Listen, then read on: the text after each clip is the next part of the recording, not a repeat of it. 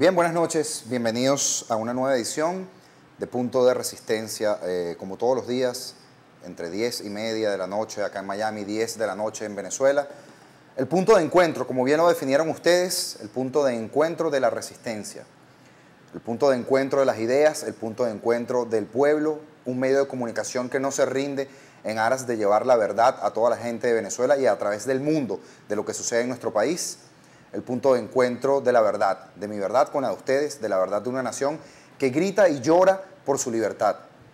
Una libertad que puede bastar, aunque sea un solo señor en la calle con una bandera, que se para al frente de unas tanquetas para que se prenda la mecha libertaria que tenemos por dentro. Esa mecha que la sembró Simón Bolívar hace mucho tiempo y todos los próceres de la independencia, pero que hoy los responsables somos nosotros, y no Simón Bolívar, y no los voceros de la oposición, no los voceros de los partidos políticos, sino nosotros, la gente de a pie, el ciudadano, a quien le duele el país y los jóvenes, aquellos estudiantes que son el futuro de una inmensa patria. Esto es punto de resistencia.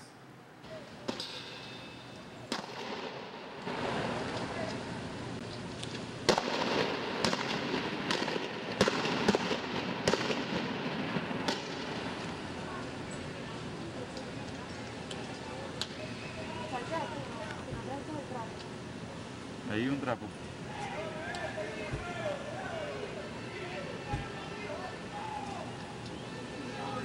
El señor está gritando, está desesperado, resistencia, tiene nietos, que no disparen, que, que no respondan, que, que- que la Guardia Nacional, la Guardia Nacional eh, les dispara y, y le dispara, casi le pegan al señor, honestamente. O sea, no le pegaron, le- le- casi le, está la familia de ese señor. no sé. Ahorita el, el camarógrafo intentó llevárselo del, del- de la mitad, del, del medio. No, no, no, hace rato. Este, antes de tomarle foto, el tipo le dijo que por favor que se quitara del medio.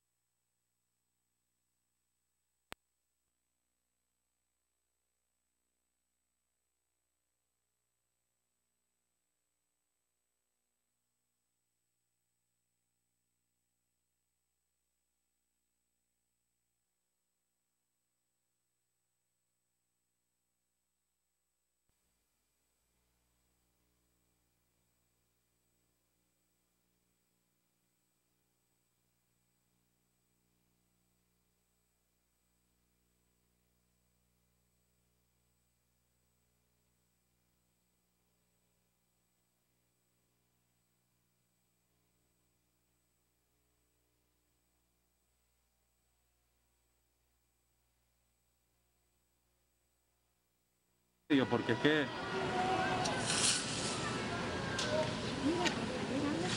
Mira, mira, le va- lo van a quitar. Verga, pegó aquí en la ventana.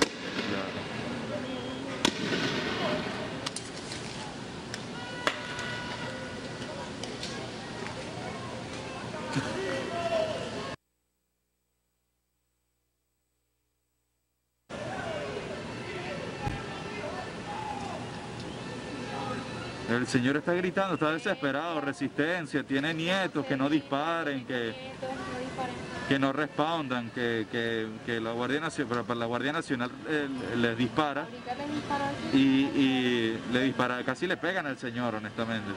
O sea, no le pegaron, le, casi le, Está la familia de ese señor. no sé. Ahorita el, el camarógrafo intentó llevárselo del, del- de la mitad, del, del medio. No, no, no, hace rato. Este, antes de tomarle foto, el tipo le dijo que por favor que se quitara del medio, porque es que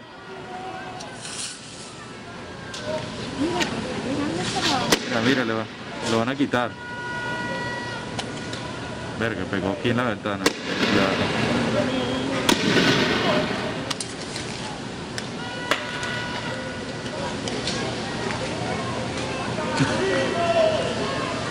Chamo, qué locura este señor, de verdad. Bueno, es que la, ya es que la gente está desesperada, ¿me entiendes? O sea, ya, ya ese señor que tiene, tiene su edad y están matando a los chamos y están...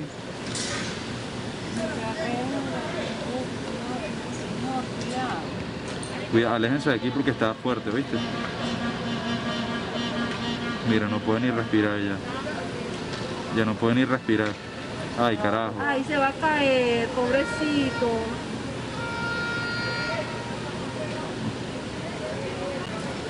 Ya no puede más. Coño, alguien que lo vaya a ayudar.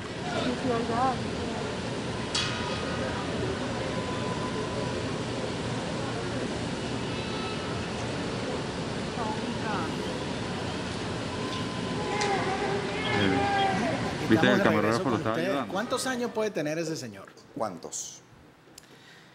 Y por ahí voy a empezar el día de hoy. Memela tiene 65 años, es una señora con hijos y nietos. Y José Antonio tiene 68, también tiene hijos y nietos. Ayer a las 10 de la mañana, mientras al cafetal le caían a bombazos, a pedradas, a tiros y a perdigonazos, me llega un mensaje desde Caracas que dice, la situación en el cafetal está terrible. Y yo contesto que sí, porque lo sabía. Si ustedes nos informan a cada minuto a través de las redes sociales lo que pasa. La siguiente frase, confieso que me heló la sangre. La frase decía así. Memela está encapuchada y José Antonio dirige una barricada. Memela está encapuchada, 65, con nietos, y el otro dirige una barricada con 68, después de vencer dos veces al cáncer. y unas hijas y unos nietos en los Estados Unidos y un hijo también aquí. Pero a ellos no les importó nada de eso. A ellos les importó salir, pararse en ese punto de resistencia del cafetal y aguantar los disparos de los esbirros asesinos del gobierno, las bombas lacrimógenas de la guardia, que mire que le dieron bomba a esa gente y pararse al lado de los estudiantes codo a codo y tirar piedras, latas, lo primero que se consiguiera. No lo hicieron para farandulear ni para tomarse una foto. De hecho, a mí no me llegó ninguna foto de los dos. Lo hicieron porque aman a su país. Lo hicieron porque consideran que la lucha estudiantil es la lucha de todos lo hicieron porque haciéndolo sintieron que a pesar de todo lo que han hecho por el país, ya que son dos profesionales exitosos, todavía tenían más que darle a Venezuela. Quizás lo hicieron por sentirse útiles. Y si esa fue la razón, muchas gracias. Ayer a mí no me quedó más que llorar de emoción y de tristeza por eso. Pero resulta que Memela y José Antonio no solamente estaban ayer en el cafetal. Memela y José Antonio seguro estaban en Altamira. Memela y José Antonio estaban en Valencia, en Barquisimeto, en Puerto Ordaz, en Palaima, en San Cristóbal, en Mérida y en toda. Venezuela, San Diego. Porque Memela y San Cristóbal son mi familia. Memela y José Antonio son mi familia. Como la Memela y el José Antonio de Altamira es mi familia. Como la Memela y el José Antonio de Palaima son mi familia. Como los de Puerto Ordaz, como los de San Diego y como los de toda Venezuela. Pero no solo ellos que tienen 65 son mi familia, ¿no? También los que tienen 15, los que tienen 20, los que tienen 30, los que tienen 40 y los que tienen 50 lo son y aún los que están más viejos. Y ustedes saben por qué todos son mi familia. Porque por aquí, nos corre sangre venezolana, sangre libertaria, sangre de gente que quiere luchar por una Venezuela mejor, sangre de gente que no se deja comprar ante prebendas y ante ofrecimientos banales de un grupo que quiere y cree saber más que los demás. Sangre de gente que ya se derramó, cuarenta y tantos. Sangre de dos mil que fueron heridos y torturados y detenidos. Sangre de más de 10 o 15 o 100 o un millón o 5 millones de personas que han salido a luchar. Su sangre es mía, ustedes son mi familia. Por eso yo los defiendo todos los días. Por eso yo digo aquí que esa es la solución, porque sí se le han dado golpes importantes al gobierno. Golpes importantes que han llevado al gobierno a tomar determinaciones como, por ejemplo, aumentar la represión. Dos, hablar de un supuesto diálogo con el gobierno. Todos sabemos con la oposición, todos sabemos que es un engaño. Pero ellos hablan de diálogo. Decir que la derecha fascista es la que está organizando todo este movimiento, cuando ya todos sabemos que el discursito se le cayó. Y una tramoya de mentiras, de politiquerías baratas y de frases ya usadas que no hacen mella en los oídos de los que todos los días salen a luchar y todos los días salen a apoyar. Pero esa es la labor del gobierno, dejar que el tiempo pase, dejar que la gente se canse, dejar que el venezolano se muera como se murió Franklin Brito, sin que nadie lo defendiera. Y sin que ningún partido político le diera la mano.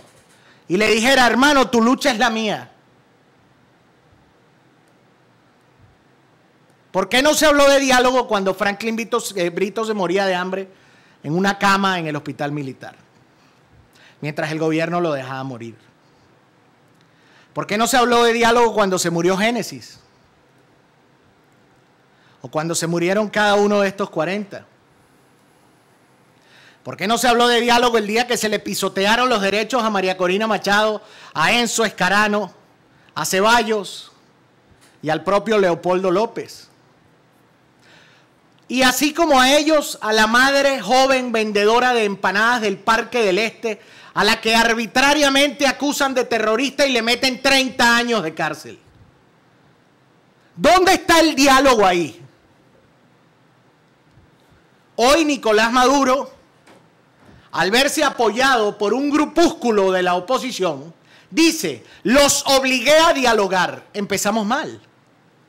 Si existe un diálogo, empezamos mal. Pero si empezamos mal, seguimos peor. Cuando Henry Ramos Ayub dice que el 84% de la gente está en contra de la guarimba, porque la llamó guarimba, al mejor estilo de un operario gubernamental. Y será entonces que los millones de personas, los miles de personas que están en la calle son el 16%. O sea que hay un 84% que está en su casa escondido, según Henry Ramos Ayub. Suena raro y mentiroso, ¿no? Y si fuera el 16% que no es así, resulta que a nosotros nos van a excluir, a los que queremos y creemos en la lucha de la calle, nos tiran un plumazo y nos excluyen. Nos apartan para un lado como un jarrón viejo. Muévete, tu lucha no me interesa. Oh, muy bien. Y, eso, y esa exclusión y ese apartheid no es lo mismo que hace el gobierno con los que no piensan como ellos. No es lo mismo que hicieron en Sudáfrica y en Estados Unidos contra los negros. No es lo mismo que hicieron los alemanes contra los judíos.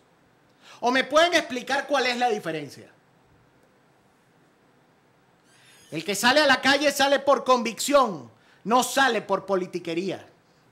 El que va a hablar con un asesino está o cuidando su curul o buscando alguna cuota de poder, o ganándose un dinero, o pensando en pajaritos preñados, por decir menos, en una salida que se sabe que es imposible de lograr. Lo primero es que no somos el 16%. Y lo segundo es que ellos no representan ni al 16% ni al 84% restante. Y mañana van a hablar con cancilleres de la UNASUR. Hablar con el canciller argentino, chulo, es como si hablaras con Iris Varela. Hablar con el de Brasil sería hablar con Rodríguez Torres. Hablar con el de Colombia sería hablar con Diosdado. Y hablar con el de Ecuador sería hablar con Aristóbulo. Aunque me equivoqué. Hablar con el canciller de Colombia sería hablar como Nicolás Maduro porque al final nació allí. El problema es que no solamente van a hablar con los cancilleres, sino que esos cancilleres van a estar apoyados en los personajes a los que representan que viven del dinero de Venezuela, que les encantan los negocios con Venezuela y que hoy países como Ecuador, como Bolivia, están más prósperos que nunca gracias a, exportar cosas que Venezuela importa porque Venezuela no tiene cómo producirlas. Muestra aceite que se trae de Nicaragua, leche que se trae de Nicaragua, carne que se trae de Argentina, arroz que se trae de Ecuador. Y con una agenda de bolsillos llenos, traidores, asesinos y malandros se puede conversar. ¿Bajo qué condiciones? Que Leopoldo siga preso. No, te diría alguno de ellos. Vamos a solicitar la libertad inmediata de Leopoldo. Sí, claro. Libertad inmediata con prohibición de hablar de política y a las dos semanas una inhabilitación para eliminar a Leopoldo López del Camino. Porque la agenda es política, no es de lucha, no es insurreccional. Por eso nuestro corazón está con los estudiantes, mañana, tarde y noche. Por eso usted tiene que salir a la calle. Porque lo quiero ver mañana luchando como los José Antonios y Memelas que hay en la calle. Pero eso sí, no lo quiero ver en cinco y seis meses sentado en un banco de una plaza con una lágrima en la mejilla diciendo, ¿por qué carajo no salí a luchar? Y los apoyé a ellos pensando que el diálogo servía y mira cómo se terminó de perder el país. No queremos arrepentidos, queremos luchadores. No queremos vencidos, queremos vencedores. No queremos politiqueros, Queremos luchadores. Esto es punto de resistencia. Un minuto de pausa y ya regresamos.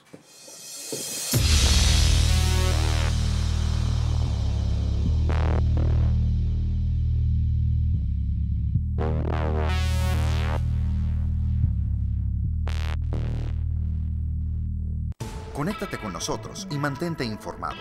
Ingresa a www.dtvoficial.com, Twitter, arroba DTV-oficial.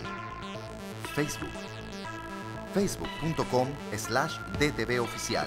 YouTube. YouTube.com slash DTV oficial. Somos DTV.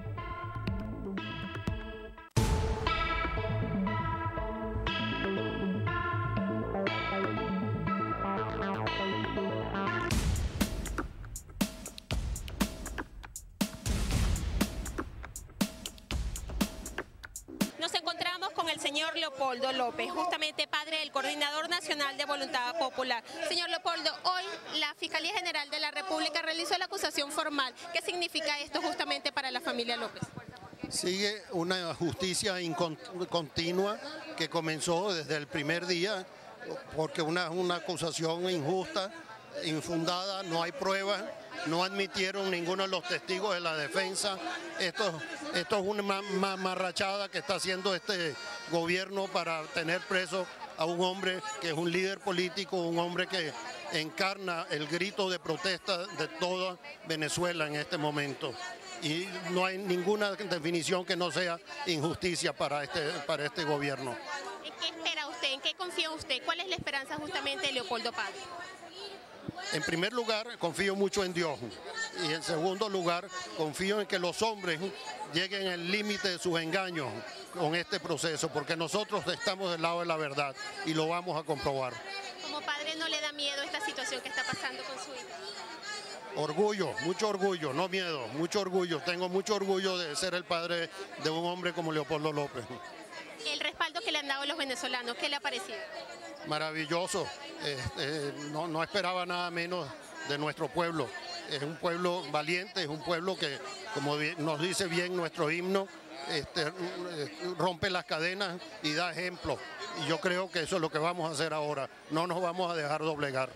Muchísimas gracias entonces al señor Leopoldo López, padre justamente del Coordinador Nacional de Voluntad Popular que se encuentra en Ramo Verde. Desde Caracas, Venezuela, para DTV, Raiza Vargas.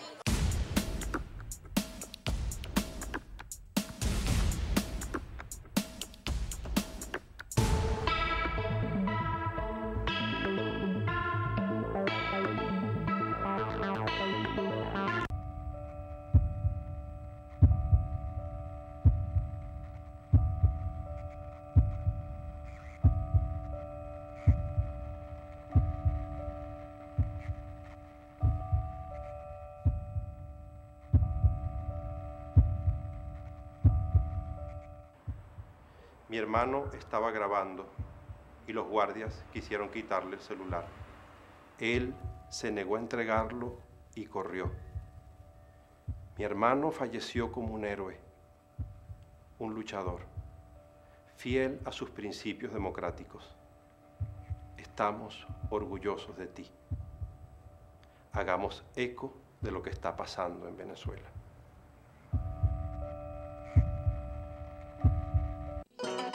Gran Pollo te ofrece lo mejor de la gastronomía venezolana y latinoamericana a los mejores precios.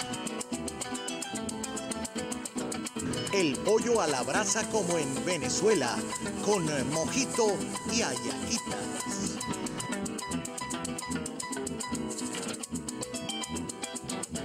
Gran Pollo, un rincón de Venezuela en el 7890 Norwest de la 52 calle en El Coral.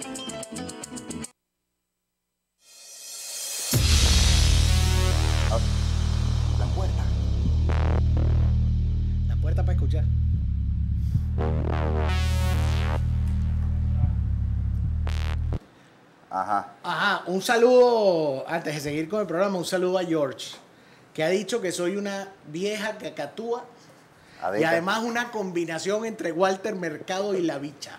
Jamás me habían dado una descripción tan exacta de lo que soy. Si él se siente con ese derecho de decirlo, yo se lo respeto. La verdad, esto es un punto de encuentro, no precisamente de desencuentro. George, que te vaya bien y ojalá algún día entiendas que el país no es como lo ves tú. El país es un poco distinto. Tenemos llamada, mi querido Augusto. Sí, estaba tuiteando en este momento. Tenemos en la línea telefónica a una gran amiga, eh, colega de nosotros Ajá, y además corresponsal de este medio en Caracas. muy bien. ¿Qué pasa? A nuestra querida amiga Laura Artal, el día de ayer la agredieron por el ejercicio de sus funciones, por tratar de informarles a ustedes, a la colectividad, a Venezuela, al mundo entero, lo que sucede en Chacao. Pero yo quiero que sea ella la que cuente qué sucedió ayer, cuando la agredieron y qué ha sucedido hoy, porque Chacao hoy ha estado Terrible. candela. Ajá. Entonces le quiero dejar el micrófono a ella. Laurita, ¿cómo estás, corazón? Hola, buenas noches. Saludos Laura. a los dos. Bueno, muchas gracias, muchas gracias por, por el contacto. Ya, dame un segundo mientras, que- mientras tengo el sí, retorno. eh, lo que no tenemos es el retorno de Laura, Exacto. pero sí sabemos que estás en línea. Vamos a ver. Aló. Laura, ¿será que ahora sí? ¿Aló? No, todavía no. Como diría la canción, Laura no está. Pero ya viene. Ahora sí, Laura, buenas noches. Hola, buenas noches a los dos. ¿Me Ahora sí. ¿Cómo estás, Laurita? Bien, bueno, este, hoy Entre lo que un poco afectada por los gases. eh, el día de hoy, la verdad es que la arremetida aquí en Chacao por parte de la Policía Nacional Bolivariana fue bastante fuerte. Sin embargo, bueno, aquí estamos y seguimos informando. Con respecto a la, a la pregunta que hacías eh, al principio, pues bueno, eh, no soy la primera persona y primera periodista que se ve afectada y agredida por, por, bueno, por, en este caso, por vecinos o por quizás manifestantes que no respetan, en algunos casos, la profesión y el ejercicio del periodismo. El día de ayer me encontraba este, reportando la situación a través de Twitter y para ustedes eh, lo que sucedía es exactamente en Chacao, en la calle Páez, justo eh, donde se presentaron las manifestaciones y, el enfrentamiento entre las personas que se encuentran pues eh, manifestando su descontento por el gobierno nacional y la Policía Nacional Bolivariana. Estaba parada en mi edificio pues este, reportando lo que sucedía y una vecina me exigió que saliera o entrara, entrara del edificio. en efecto, pues tengo mi derecho tanto a ejercer mi profesión como a estar en mi edificio, ¿no? Como propietaria. Además Esta persona me empujó, eh, empujó a una señora de la tercera edad, eh, exigiéndonos que, bueno, que saliéramos de allí porque estábamos poniendo en riesgo su integridad. Eh, mi respuesta fue, bueno, mira, yo estoy trabajando y igualmente, pues la respuesta de las personas que estaban allí presentes igualmente Muchos la catalogaron de, chavista, pues en ese momento hubo cierta confusión, sin embargo, bueno, gracias a Dios no pasó mayores y, y mi, mi, labor y mi deber como periodista pues fue continuar informando a través de Twitter y para ustedes. Y, bueno, seguimos y quiero acotar que además se han venido presentando ciertas agresiones a varios periodistas de la zona.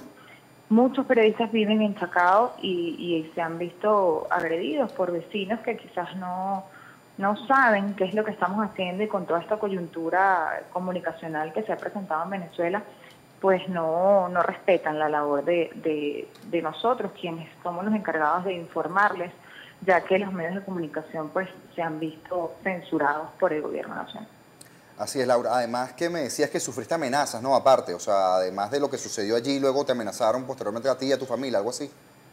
Sí, ella, pues después de todo el del altercado, eh, nos dijo como que voy a tomar cartas en el asunto, donde las vea, sabes, ciertas ciertas palabras y ciertas oraciones que uno toma como amenaza, porque bueno, en definitiva, en este momento donde nadie se conoce, eh, bueno, uno tiene que tener cuidado y por supuesto yo manifesté que cualquier cosa que me sucediera a mí o a mi familia, pues ciertamente mi mamá y mi hermana también se vieron afectadas por la agresión de esta persona, pues se la responsabilizaba a ella, ¿no?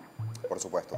Ahora, Laura, eh, la situación el día de hoy en Chacao, caótica como ha sido los últimos días, eh, en verdad no ha parado, o sea, solo por un par de días cuando montaron el circo de la retoma de la Plaza por la Libertad, etcétera, eh, que duró dos días y al, los dos al cabo de dos días pues se retiraron las fuerzas, las hicieron retirarse y sigue la represión brutal en contra de los vecinos de Chacao, siguen las bombas lacrimógenas en contra de los edificios, sigue eh, el daño a, digamos, a los bienes privados, a los carros que se encuentran parados afuera de los edificios, siguen los perdigones, siguen las, tanquetas, las ballenas. ¿Qué, ¿Qué ha pasado el día de hoy en Chacao? Sí, bueno, como ya saben ustedes, desde hace varias semanas se han venido presentando manifestaciones aquí en Chacao.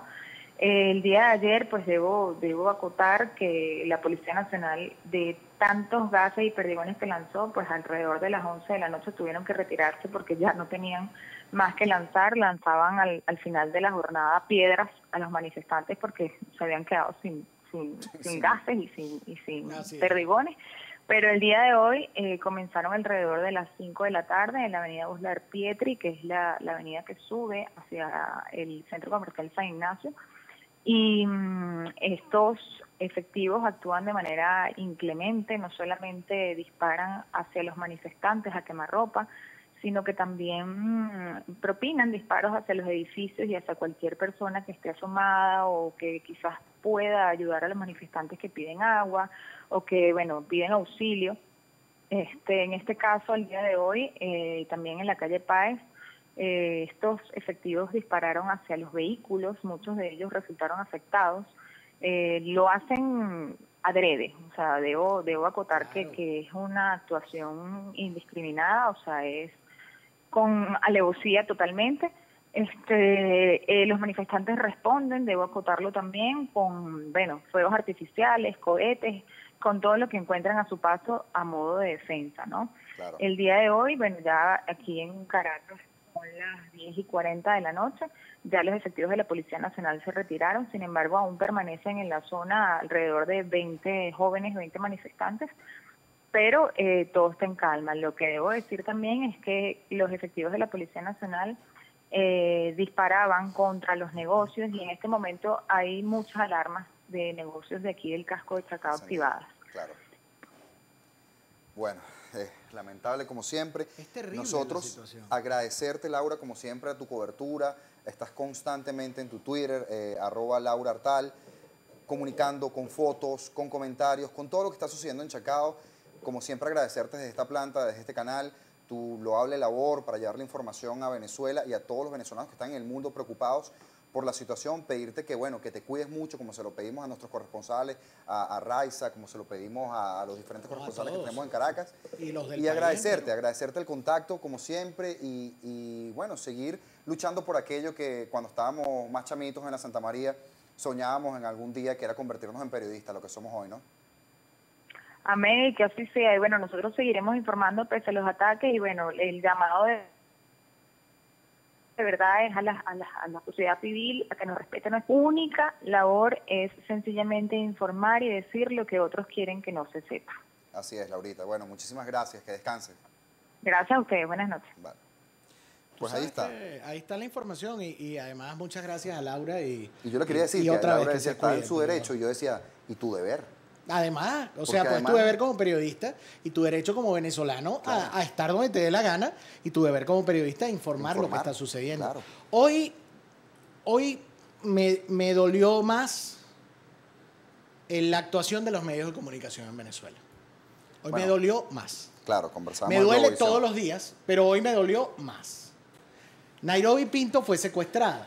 No sabemos si es una agenda premeditada, no sabemos si es una retaliación por algo, porque en el caso, por ejemplo, del primo de, Leopoldo y los que son familia de, de Ocariz y de, Juan Lorenzo Mendoza, todo parece indicar que es algo premeditado, ordenado y con, con una intención específica.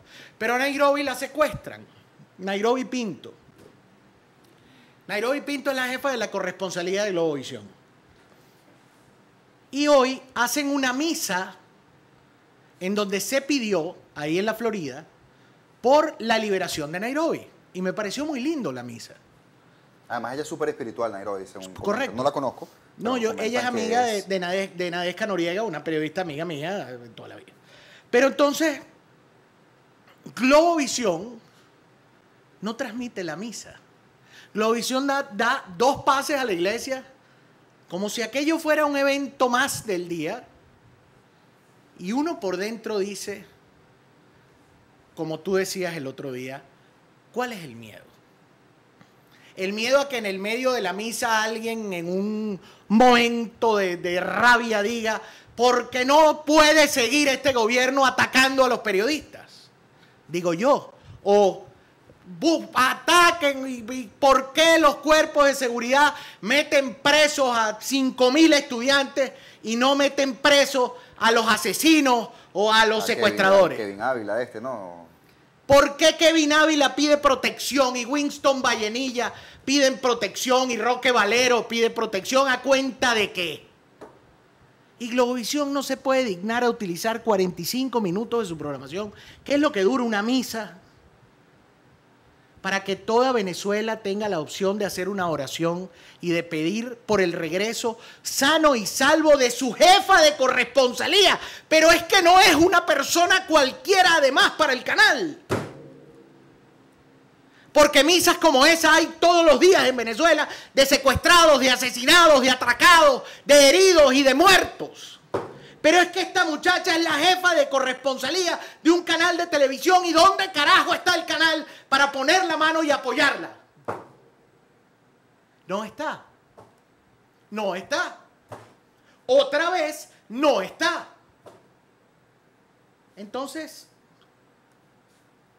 esos son los diálogos de paz. Esas son las conversaciones. Y entonces después de ver yo cómo censuran la transmisión de una misa, además me tengo que calar a Arreaza diciendo que hay un golpe mediático en formación. Arreaza, ¿con qué medio? si el único medio que está hablando en contra del gobierno, además con toda la razón, es este? Y se ve por internet.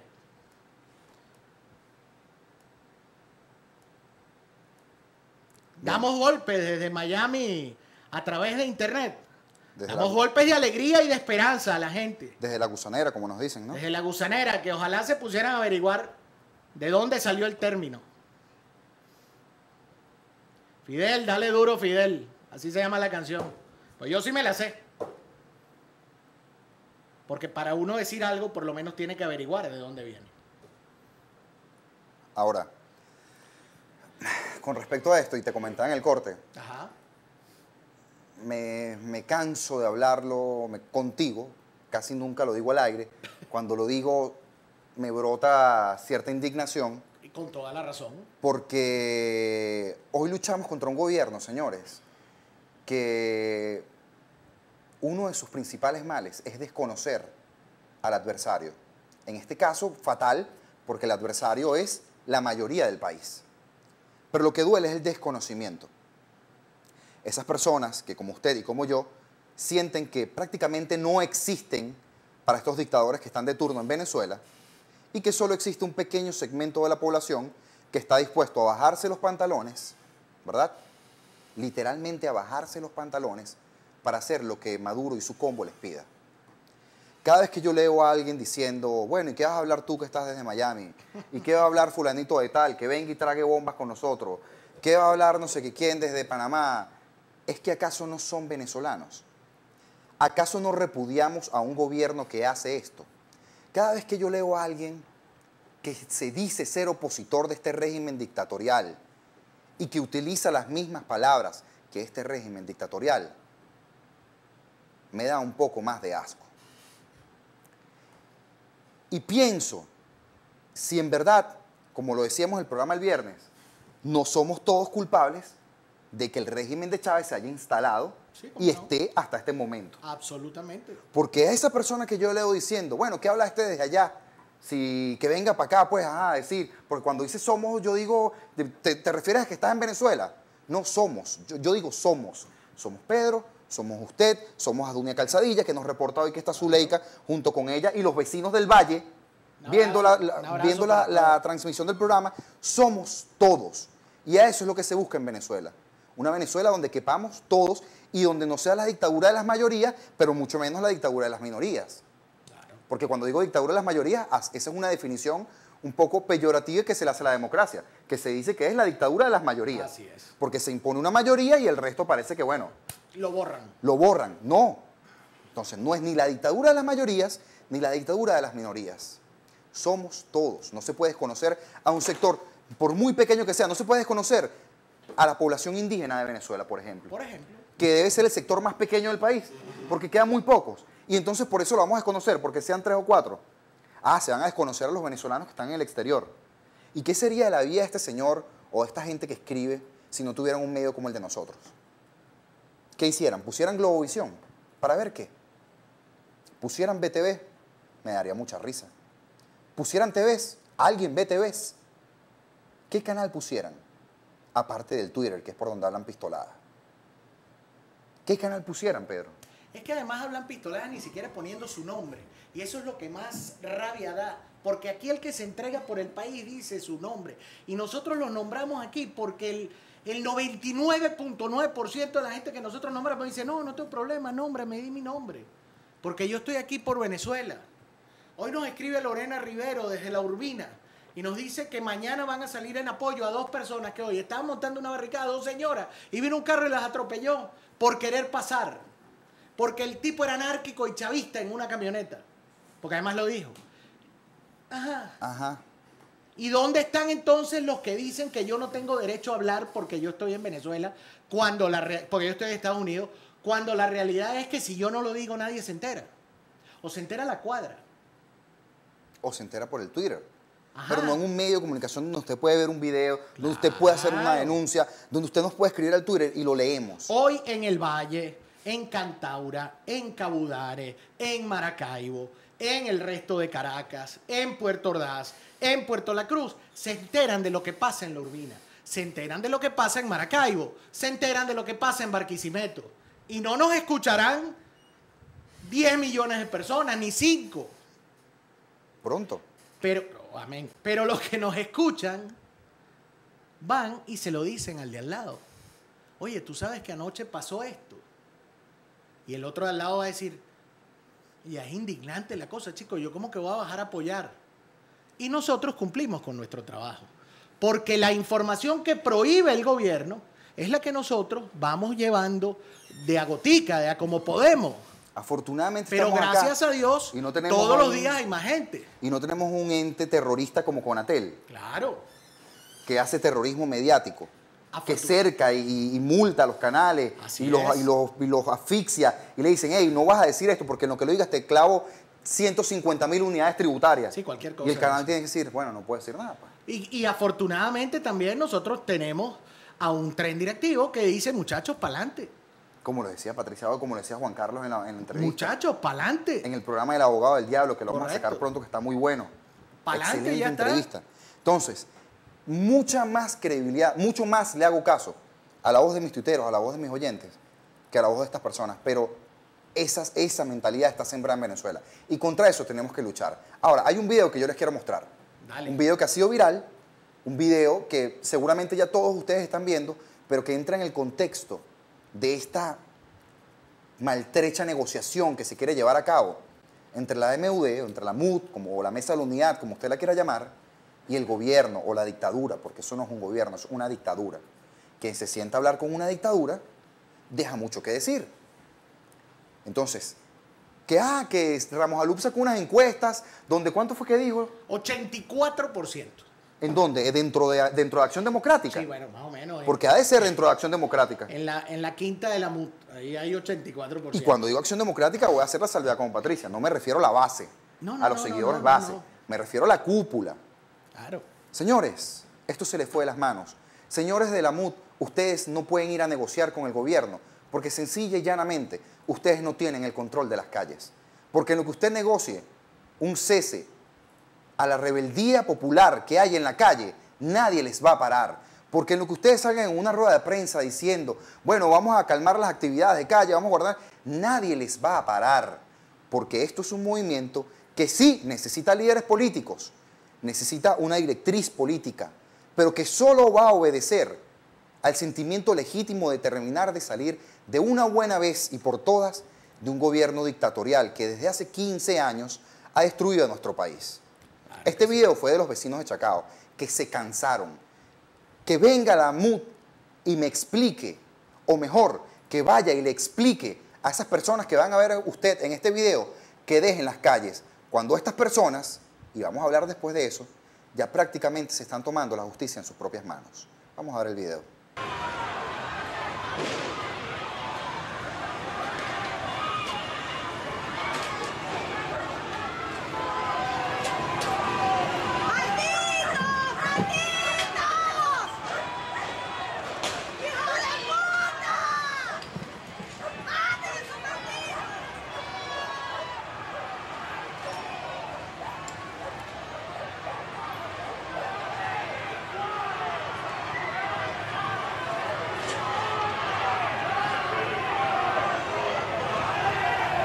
Sí, los tengo.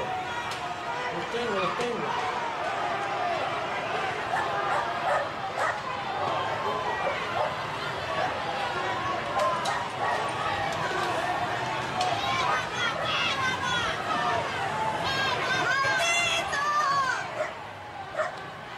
Ahí está. Yo le voy a pedir a nuestro querido director que lo repita cuando le, cuando le, cuando le dé la señal. Porque hay varias cosas que rescatar en este video y yo sé que, como les decía, muchos lo han visto, pero no está de más volverlo a ver. La, la gente perdió el miedo definitivamente. Esas personas que están allí perdieron el miedo. Se fueron a las manos de tú a tú con los policías. Así es. Cuando los tipos intentaron huir, huir, no replegarse, huir, hay un muchacho de camisa anaranjada y otro de camisa azul que lo tumba de la moto a uno de los policías y a otro que está más a la izquierda y le quitan dos motos. Por ahí viene. ¿Qué cree usted que está pensando ese muchacho que está ahí peleando? ¿Qué cree usted que siente el señor allá que va por allá arriba en, en- en la pantalla, en la parte del medio, que se está fajando a golpes ahí con los policías? ¿Usted cree que le importa el diálogo con el gobierno? ¿Usted cree que avala en un diálogo con el gobierno?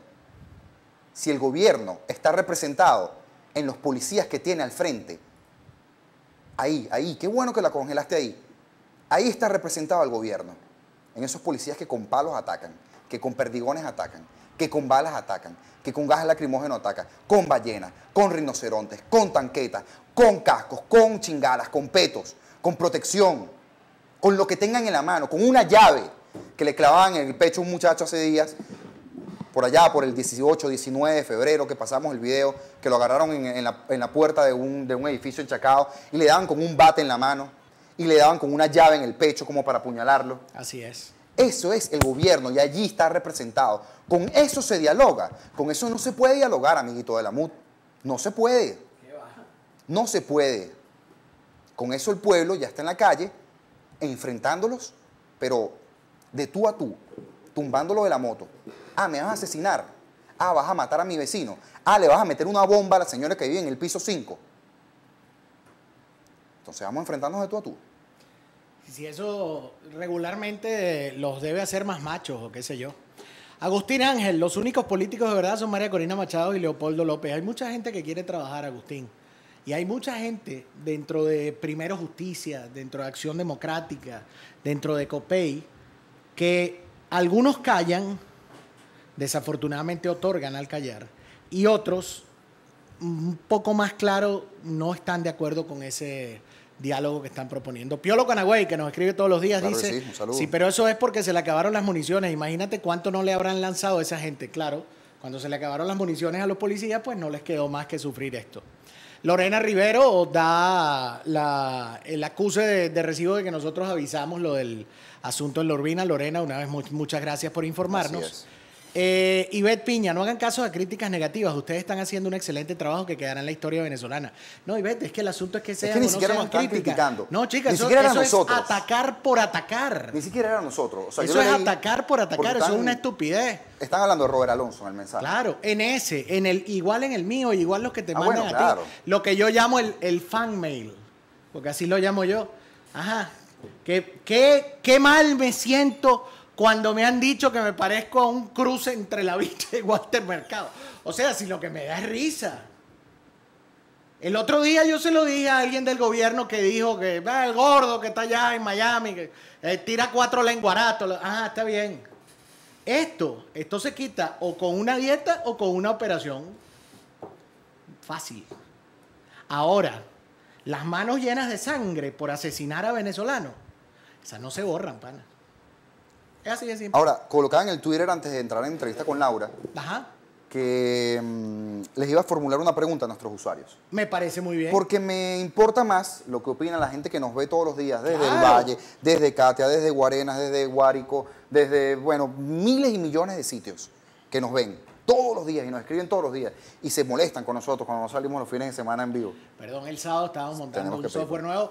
Pueden ver que hoy la señal está mucho mejor el domingo. Y, les digo que, bueno, lamentablemente yo al menos no voy a poder acompañarlos el fin de semana que viene.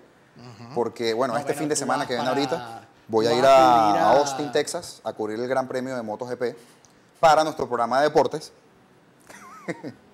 para nuestro programa de deportes eh, y para compartir con todos ustedes también Em, ojalá, yo voy a intentar al Pedrito de repente conectarme por Skype y ver si inventamos algo para acompañar a la gente, porque me siento mal cuando ustedes me escriben o le escriben a Pedro y yo leo los mensajes, muchachos no van a salir hoy, muchachos salgan hoy, y, uno está trabajando y bueno, me hace sentir en mucho compromiso, porque eso es lo que tenemos acá en DTV con ustedes, compromiso. Entonces la pregunta es, desde acá, desde Miami, Pedro, donde está la sede de DTV, donde vemos un conglomerado de venezolanos trabajando por nuestro pueblo de Venezuela día, noche y madrugada además con hermanos colombianos como nuestro director Gio Barreto. Correcto. Como nuestros camarógrafos también, uno de nuestros camarógrafos colombianos, el otro es peruano, porque aquí somos multirraciales. Desde acá, ¿qué ha sentido usted que ha sido punto de resistencia para usted? ¿Qué ha sido DTV oficial para usted? Es una pregunta muy sencilla. Usted puede respondernos a cualquiera la cuenta de Pedro o la mía o la del canal y use el hashtag punto de resistencia, porque queremos ver su opinión. Porque una cosa es lo que puede pensar Pedro, que, es el canal. Una cosa es la que yo puedo pensar, que es el canal. Una cosa puede pensar Gio, que es el canal. Pero nosotros queremos saber qué piensa usted, qué aporte le estamos dando. ¿Lo estamos haciendo bien? lo estamos haciendo mal, corríjanos. Si lo estamos haciendo mal, corríjanos. Y, y además, Con mucha humildad lo haremos. eh, pero sin ningún problema, además. Pero encantado de la vida. ¿Qué aporte dan estos venezolanos que les duele tanto la patria, como usted que nos está viendo allí, desde esta ciudad? Y voy más allá. ¿Qué aporte dan ustedes también para nosotros entonces hacerlo público? Porque entre los consejos, la crítica sana y la opinión, es que todos vamos a poder ir construyendo el verdadero consenso que haga la Venezuela que todos queremos, en donde van a estar incluidos absolutamente todos. El otro día leí, y lo tengo que decir, lo tengo aquí, y, y- lo tengo que decir. El otro día leí una entrevista, eh, precisamente porque volví a ver el trabajo de Patricia Poleo. Y en la entrevista sale Enrique Capriles hablando y dice, bueno, los que montaron las guarimbas y tal, y yo no sé qué, ¿dónde están los pobres? Y yo creo que esa frase, yo estoy seguro que, que no está dentro del contexto que él la quiso decir. Porque sonó realmente Sí, despectiva, Muy despectiva. terrible y además de un clasista que no tiene precio. Y si alguien no es de ese tipo de personas, es Enrique Capriles, porque su abuela judía de un campo de concentración, sobreviviente de un campo de concentración, le enseñó a no ser así. Yo estoy seguro que él eso no lo dijo con ese sentido, pero sonó con el sentido equivocado. Yo creo que lo debería de alguna manera aclarar. Porque te voy a decir una cosa, Enrique. ¿Dónde están los pobres? Los pobres del 23 se van para Altamira a luchar, porque saben que en el 23 vienen los colectivos a caerle a tiro. Los pobres de, de, de Petare bajaron a conversar con los de Terrazas del Ávila. Además, además, esa frase desconoce un poquito la historia. En Venezuela siempre dice, no, que si bajan los cerros, no, que si. Y yo lo dije el otro día. Las grandes revoluciones del mundo las logra la clase media. Porque la clase media tiene la mayor cantidad de gente profesional, por una parte, y por la otra es gente a la que realmente es la que más afectada se ve cuando una situación de desigualdad social sucede en un país, en este caso como en Venezuela. La clase media tenía en Venezuela el acceso a prácticamente todo lo que tenían los llamados ricos, en menor medida, pero lo tenía. Mientras que el pobre en Venezuela ha hecho unos esfuerzos titánicos y hay generaciones de padres que se han partido el lomo trabajando para que sus hijos sean profesionales, para subir poquito a poquito, y muchos lo lograron, por no decir casi todos, los que se fueron a trabajar de verdad. Pero venirme tú a decir, chico, no, que los pobres, ¿dónde están los pobres? Eso es una declaración de un pobre, pero de un pobre de espíritu, mosca. Porque él, tú no eres así, Enrique. Te conozco desde, desde Sucre. Tú no eres así, pana. Tú eres un tipo demasiado inteligente y demasiado sensible y demasiado buena persona y con un corazón que no te cabe en el pecho como para decir una frase como esa. Y sería bueno que, que algún periodista se lo pregunte en estos días y que él lo aclare, porque yo estoy seguro que él va a tener una buena aclaratoria para eso. Bien, vamos a hacer una pequeña pausa. Vamos, ya están llegando muchísimas, muchísimas respuestas, muchísimos mensajes de apoyo. Más que un apoyo, queremos escucharlo. Como siempre le decimos, Punto de Claro. Resistencia nació con esa columna vertebral inquebrantable de que sea usted quien dirija este programa, de que sea usted quien comente este programa. No es un monólogo periodístico de Pedro o, o- o de reflexivo de Pedro, no es una cátedra de, No, de historia que queremos darle, no es una cátedra de valores y derechos humanos, no señor.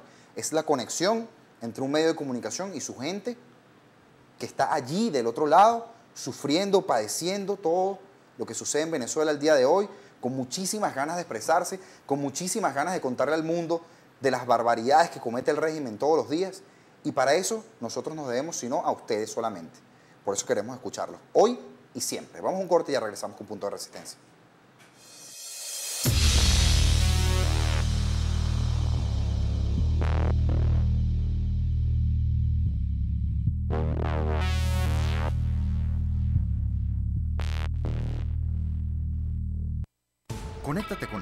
Y mantente informado. Ingresa a www.ttvoficial.com. Twitter, arroba DTV-oficial. Facebook, facebook.com slash DTV oficial. YouTube, youtube.com slash DTV oficial. Somos DTV. Gran Pollo te ofrece lo mejor de la gastronomía venezolana y latinoamericana a los mejores precios. El pollo a la brasa como en Venezuela, con mojito y ayaquitas.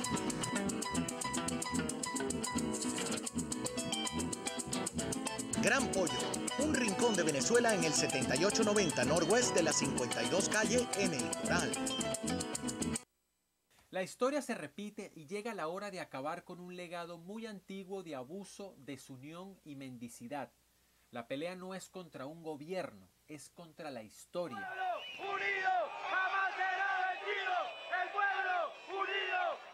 La victoria está cerca, pero aún no está garantizada. Los manifestantes tienen nuevos retos y es fundamental superarlos. Han surgido en la protesta intentos de saboteo que hay que eliminar de raíz. Todo lo que sea parar la protesta es un error o una traición. Hay que estar alertas. Aquí hay gente que intentó, ha intentado hacer eso y simplemente los mandamos largo al carajo. Esta vaina no la levanta nadie. Esta vaina la levantamos nosotros, pero el día que se vaya el régimen en pleno ya... Es importante no focalizarse tanto en algunos puntos. Hay que ampliarse e incluir a más gente. Aún hay muchos indiferentes. La mayoría se divide en dos. Quienes no sienten el compromiso y quienes sienten miedo. Los primeros sentirán pronto en carne propia la necesidad de protestar. La realidad los tocará. No hay que forzarlos, basta darles información y recibirlos de buena gana. Los segundos pueden hacer muchas labores, aunque no estén al frente de la protesta. Distribuir información, crear grupos de trabajo y diseñar propaganda. Con respecto a los mensajes, estos deben ser muy simples, enfocarse en lo que queremos todos, incluir grandes ideales, no etiquetar a nadie, no insultar a los militares y sí invitarlos a que honren el juramento de defender al país ante la invasión extranjera. Pueblo, no le disparen al pueblo, viejo. El pueblo también, ustedes también pasan necesidad igual que nosotros, chamo. No lo hagan, viejo. Miren que tenemos familia. Todos tenemos hijos, viejo. Coño, chamo, nosotros también estamos con ustedes, ahorita. Quienes quieran trabajar a nivel espiritual deben crear grupos de oración o eventos donde participen religiones o tendencias de cualquier tipo hay que sumar y no dividir. Hay mucha gente oficialista en estado de shock y en fase de negación. Les cuesta creer la barbaridad y las mentiras del régimen. Poco a poco se van sumando a la protesta y es importante incluirlos sin acusaciones ni menosprecio. Hay que apelar a la emoción y a los intereses comunes. La unión es el gran aprendizaje. Independientemente, ustedes vivan en urbanización y nosotros vivamos en barrio, nosotros no queremos sentirnos como humillados delante de ustedes, ¿no? Así como están ustedes, estamos igualmente nosotros en los barrios. Y estamos viviendo la misma situación todos los venezolanos. Y trancaremos la autopista y llegaremos hasta última instancia. En esta etapa es importante la conciencia, la unión y la estrategia. La represión hará una fuerte escalada. Más que enfrentamientos directos, hay que trabajar la trampa y la malicia. Mientras algunos distraen, otros ejecutan acciones. Mientras algunos vigilan posibles emboscadas que ya el gobierno prepara, otros trabajan en suministros y comunicaciones. Antes de entrar en calor, hay que planificar. No destruyan lo decomisado al gobierno, úsenlo. Si tienen rehenes, no los entreguen tan rápido obtengan información de los planes represivos del gobierno y sus futuras estrategias. Obtengan nombres y rostros y compártalos en red. No los maltraten. Ok, ¿por qué mentiste? ¿Por qué mentiste? Por miedo.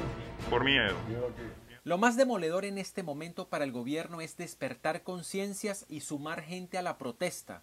El trabajo de las mujeres en este sentido es muy efectivo apelen a la emoción y no caigan en discusiones. Los militares quieren apoyar a los estudiantes, pero están aguantados por sus superiores comprometidos con el gobierno. La gente en la calle es la única razón por la cual actuarían, por eso es importante persistir. Falta poco. Hay que apoyarlos y pedirles que defiendan al país ante la injerencia del G2. Poco a poco van recuperando su valor y su dignidad, perdidos ante tanto atropello del castrocomunismo. Que sientan nuestra necesidad, no nuestro desprecio. Mantengamos la energía bien arriba. Con ustedes, viejo. Estamos con ustedes, chamo. Quienes están en el exterior deben trabajar recolectando información que será utilizada más adelante. Descarguen a sus computadoras o envíen a organizaciones internacionales fotos y videos anexando información veraz. De momento no va a llegar la ayuda internacional. Más adelante vendrán manifestaciones contundentes. Hay que ir más allá de las redes sociales. Hay que trabajar en equipo y unirse a grupos que coordinen. Las tres tareas fundamentales son insumos, contacto con organizaciones de derechos humanos y apoyo a los manifestantes. El mensaje debe ser unificado, optimista y actualizado. Luego de la caída del régimen puede haber un periodo de caos. La gente en el exterior debe ser guía y vocera en momentos difíciles. Pudiera ser necesario contactar grupos en países vecinos para enviar ayuda por tierra. El momento álgido de los ataques llegará de noche, pero amaneceremos en libertad, una libertad ganada con mucho sacrificio, no regalada por nadie. La oscuridad del gobierno se debe enfrentar con fe, valentía y dignidad. Persiste, falta menos. Tengan fe que salimos de esta, salimos de esta porque es que carajo salimos de esta. La historia se repite y llega la hora de acabar con un legado muy antiguo de abuso, desunión y mendicidad.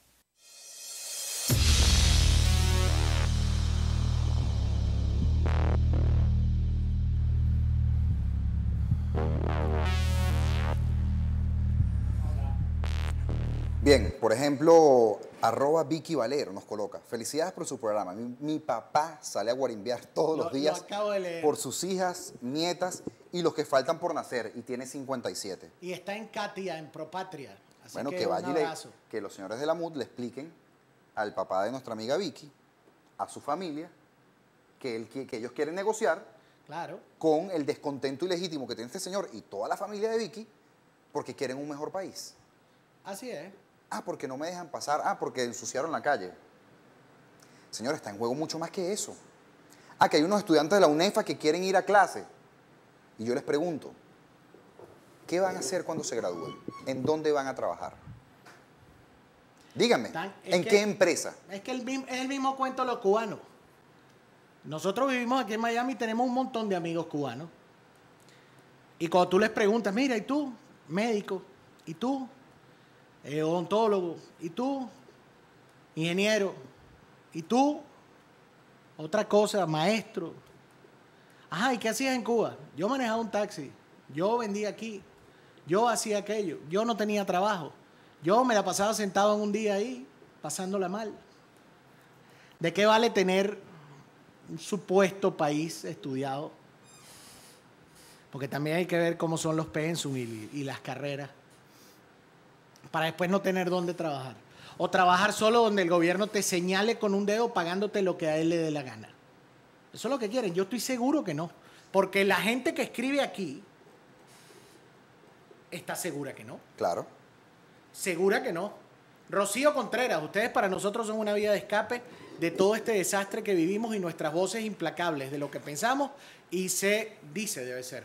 Me recuerda, punto de resistencia, me recuerda Reencuentro de Medianoche. Yo me, yo me acuerdo de ese, no. de ese programa. Eh, Reencuentro de Medianoche era un programa donde Isa Doble hablaba de todo, de todo, de lo que la gente quisiera llamar y decir y, y hablar, y se hablaba duro.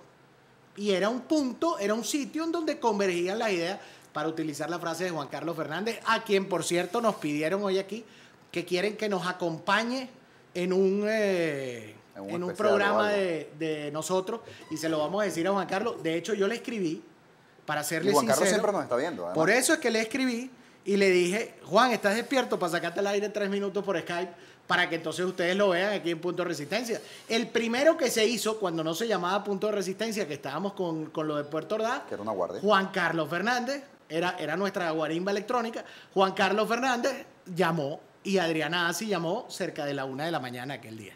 Mira, la pana María Alex, eh, María Ramírez nos coloca, épale, pero entonces a criticar al gobierno significa que los ven también. Sí, bastante nos ven. Se lo aseguro. Nos ven y nos sabotean, sobre todo nos ven y les da dar mucha rabia que Conatel no pueda regularnos y que podamos decir lo que queremos y que podamos decir lo que usted quiere decir.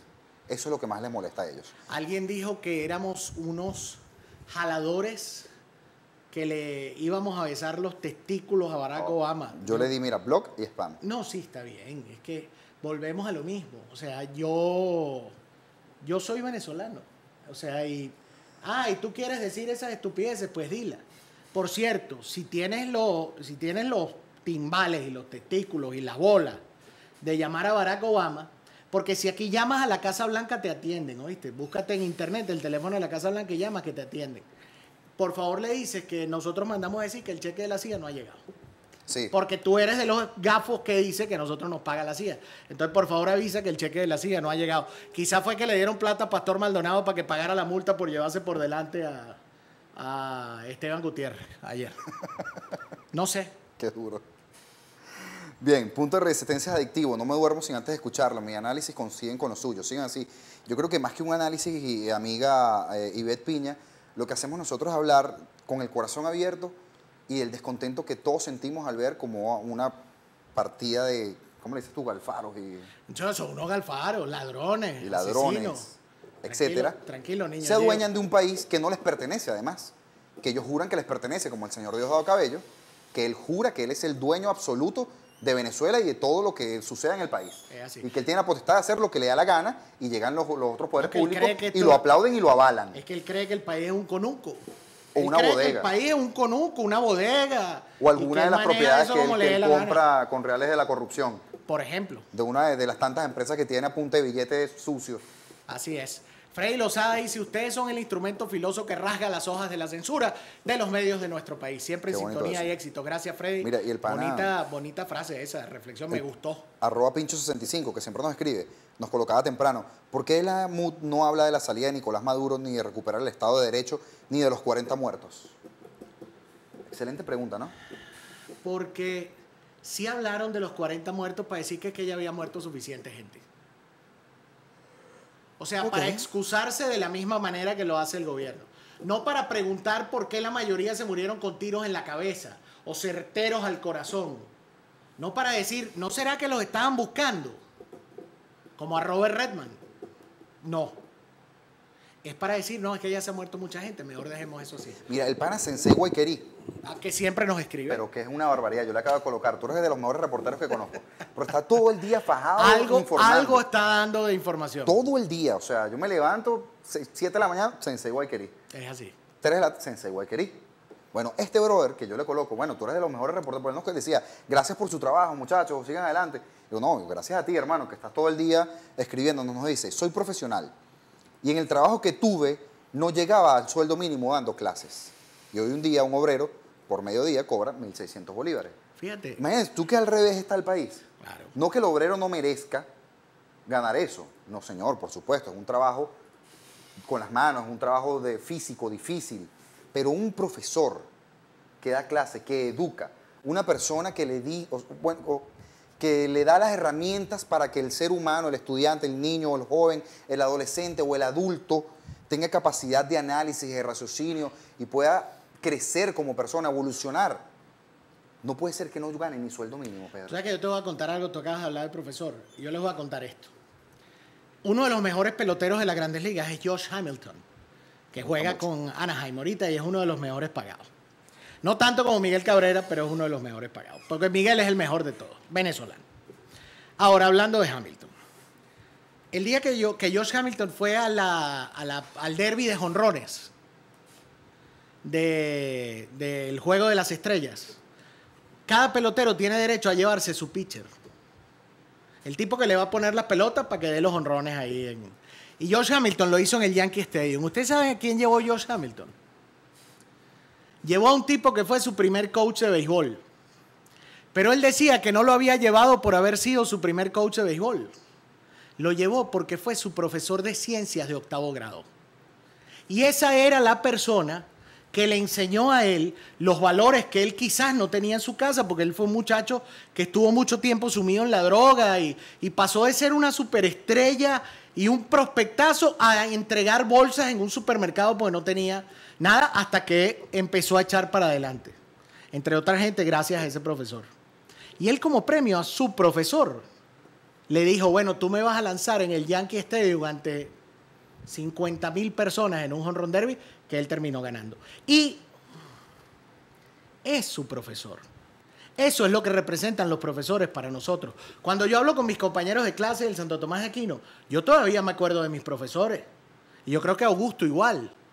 Hoy Bueno, llamó el va. padre Ugalde Eh, que fue y, profesor y- y. Augusto lo primero que dijo fue él fue mi profesor. Marta Colomina fue mi profesor. Ah, sin lejos. Y cuando llamó se lo dije, profe, Patricia Poleo fue mi qué, le- qué profesora alegría. Te dio clase. En la Santa María. Ok. Pero entonces, Hoy, somos colegas y nos vemos de tú a tú y nos respetamos. pero claro, pero es gente que uno admira. Claro. Porque es gente que te enseñó lo que sabes.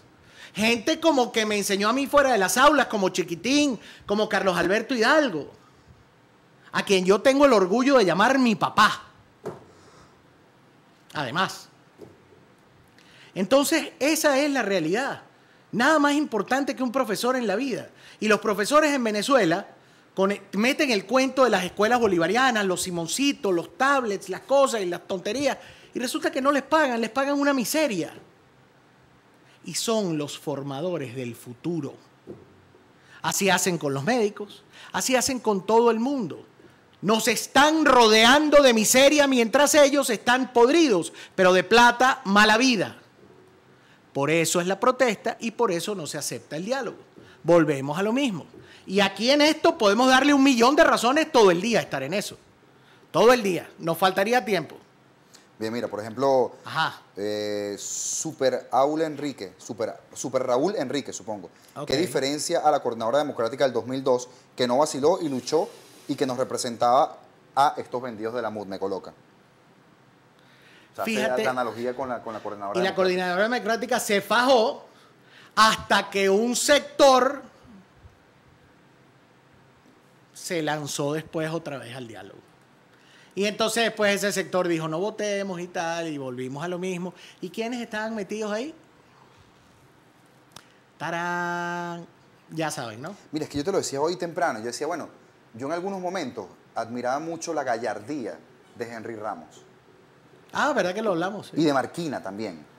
A mí, a mí Marquina me parece un Me, me pareció que, pero ahora, yo creo que hubo una desconexión entre estos políticos y la lucha del pueblo. Yo estoy creo que están haciendo una falsa lectura o Yo una lectura seguro. errónea de la voluntad del pueblo. De la verdadera voluntad popular. Claro, porque la gente está en la calle, no todo el mundo, es verdad, muchos quisieran y no pueden, otros tantos tienen miedo, pero lo que se expresa en las calles es de una legitimidad que abruma. Así O es. sea, es, de, es de, de- de una importancia que a ellos mismos les debe dar miedo. Entonces, ¿por qué como voceros de la gente no son voceros de la gente? Y valga la redundancia. ¿Por qué no son voceros de eso? ¿Por qué obedecen a intereses personales? ¿Por qué negociar? ¿Con qué van a negociar? No tienen con qué negociar. Porque no tienen a la gente del pueblo, no tienen a la calle. Todas las personas, mira, yo le hago, se lo juro, que absolutamente el 100% de las personas que están hoy en la calle peleando por la libertad de este país, en el momento que ustedes les digan, levántense de sus trincheras o de sus guarimbas o de sus puntos de resistencia o como le quieran llamar, van a les van a pintar una paloma, Les va a sacar la lengua por Así mismo. bueno, claro. Pero del tamaño de, de- de Ciudad Bolívar, Es así. porque no les van a hacer caso. ¿Y por qué no le van a hacer caso? Porque la lectura no tiene que ser del pueblo al político, no señor. Ese es el país al revés que vivimos ahorita. La lectura tiene que ser al revés, del político al pueblo. ¿O me equivoco? No, no, no te equivocas. No Por te eso capaz yo no soy político. Capaz fracasaría como político. Porque en lo que me vengan y mi gente que me votó por mí me diga, hey hermano, la pelea es en la calle. Bueno, yo voy para la calle y peleo. Pero es que tienes que hacerlo. Pero entonces no. Como lo hizo María no- Corina cuando llegó de Brasil. es que eso era lo que iba. entonces estás haciendo lo correcto, porque María Corina lo hizo, porque Leopoldo lo hizo hasta que fue Hasta que preso, porque eh, que a todo el mundo se olvidó de Carlos Vecchio. Carlos, Carlos Vecchio, está escondido, ahí, fajado, y, y el otro día se apareció en una marcha y, y habló y, y ahí mismo arrancó. Ajá, Ledesma. Ledesma es un señor que ya tiene sus años y ha pasado por, por una importante cantidad de partidos políticos. Y está entendiendo también que esta es la salida y sigue llamando a la calle. Entonces unos voceros sí tienen eh, solvencia moral, como dice Augusto, y otros no. No, yo creo que la realidad va por otro derrotero y eh, definitivamente las concesiones y los puestos políticos no están para nadie. Ojo, a nadie le puede dar miedo ya hablar de que la oposición venezolana tiene dos bandos. Los dos bandos quieren lo mismo. Quieren que se vaya Nicolás, quieren que se vaya Diosdado, quieren que se vaya el gobierno. Cada bando quiere llegar de una manera. Pero la oposición venezolana está dividida. Y eso no es malo. En el gobierno están divididos y eso no es malo porque al final están pensando en lo mismo. La oposición siempre va a ser oposición. Lo que es malo es que un sector se quiera agarrar todo para él, menospreciando al otro sector. Ahí es donde está el error que no se puede cometer. 11 y Bueno, 58. mira, el pana Sensei Guayquerí nos coloca. Ajá. El CEO comentándonos sobre el tema de, de- de lo que él hacía y de su trabajo y de lo poco que es remunerado, lo mal remunerado que es. Y al final me, me colocamos, porque los dejan sin trabajo, sin sus beneficios. Y nuestros títulos son de papel de baño para algunas instituciones educativas y de Estado. Y yo creo que el título de todo el mundo. ¿Qué sería tu título si tú estuvieras en Venezuela ahorita? Absolutamente nada. Porque ¿Qué estaría haciendo yo con mi título en No, no, Venezuela ahorita? Trabajando de otra Ir a cosa. Globovisión, Pff, por favor. No, no, no perdería. ¿A dónde iría? ¿A dónde iría a trabajar? ¿En qué medio podría acercarme a mi gente, que fue lo que me enseñaron en la Escuela de Comunicación Social, que éramos la voz del pueblo, que éramos el cuarto poder, que éramos la, la palabra de quien no puede hablar?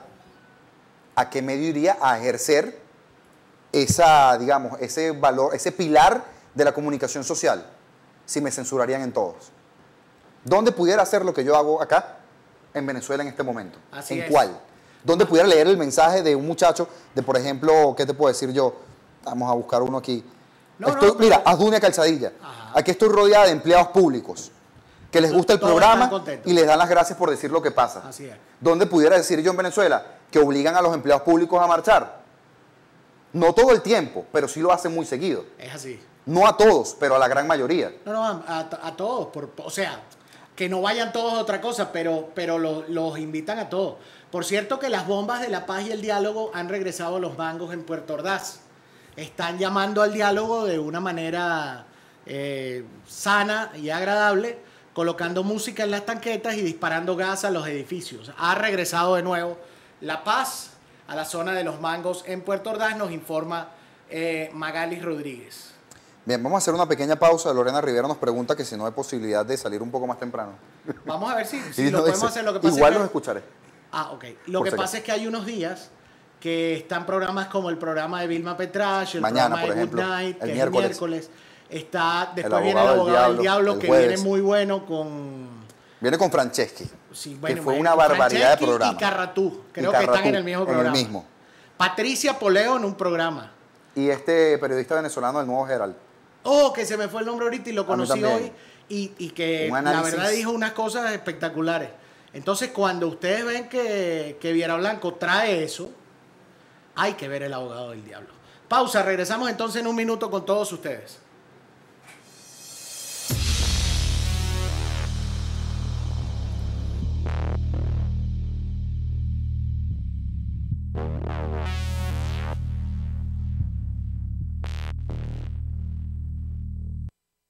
Conéctate con nosotros y mantente informado. Ingresa a www.dtvoficial.com. Twitter, arroba dtv-oficial. Facebook, facebook.com slash dtvoficial. YouTube, youtube.com slash dtvoficial. Somos DTV.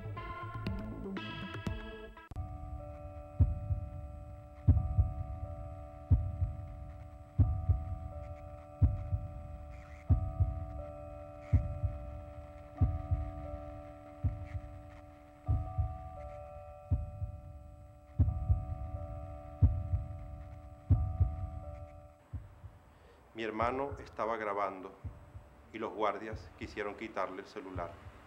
Él se negó a entregarlo y corrió. Mi hermano falleció como un héroe, un luchador, fiel a sus principios democráticos. Estamos orgullosos de ti. Hagamos eco de lo que está pasando en Venezuela.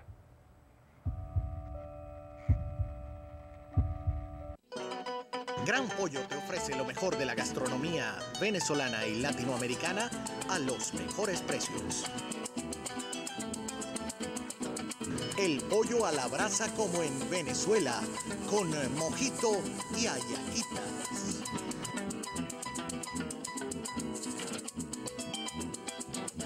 Gran Pollo, un rincón de Venezuela en el 7890 Norwest de la 52 calle en el Coral.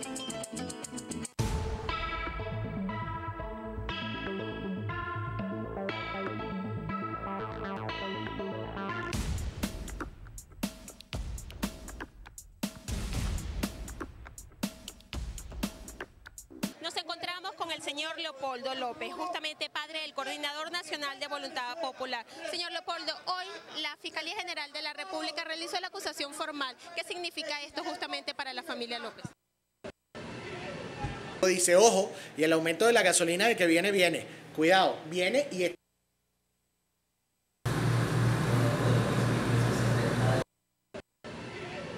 Dice, ojo, y el aumento de la gasolina de que viene, viene.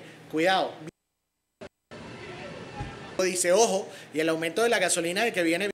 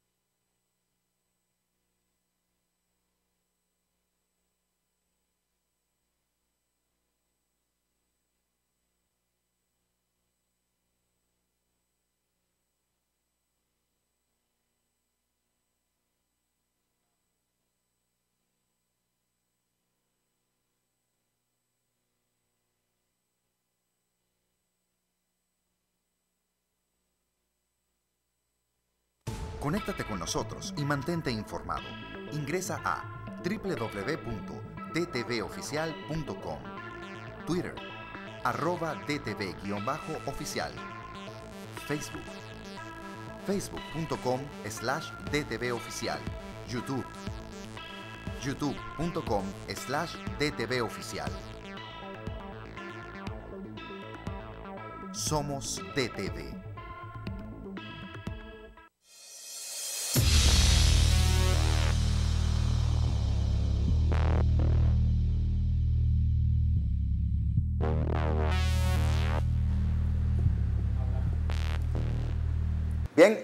Estamos de vuelta. Hola Joe. Hola Joe. Ay, ay, ay. ok, sin comentarios. Ay, ay, ay. Sin comentarios. No, chicos, no, son demasiado batequebrados.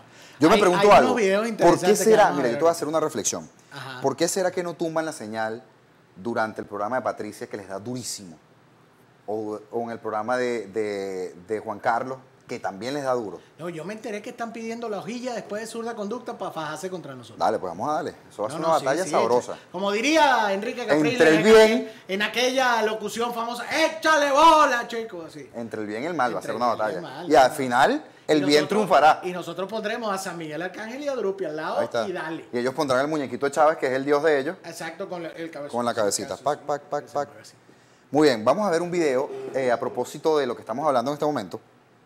Eh, un video también que se hizo viral eh, en YouTube.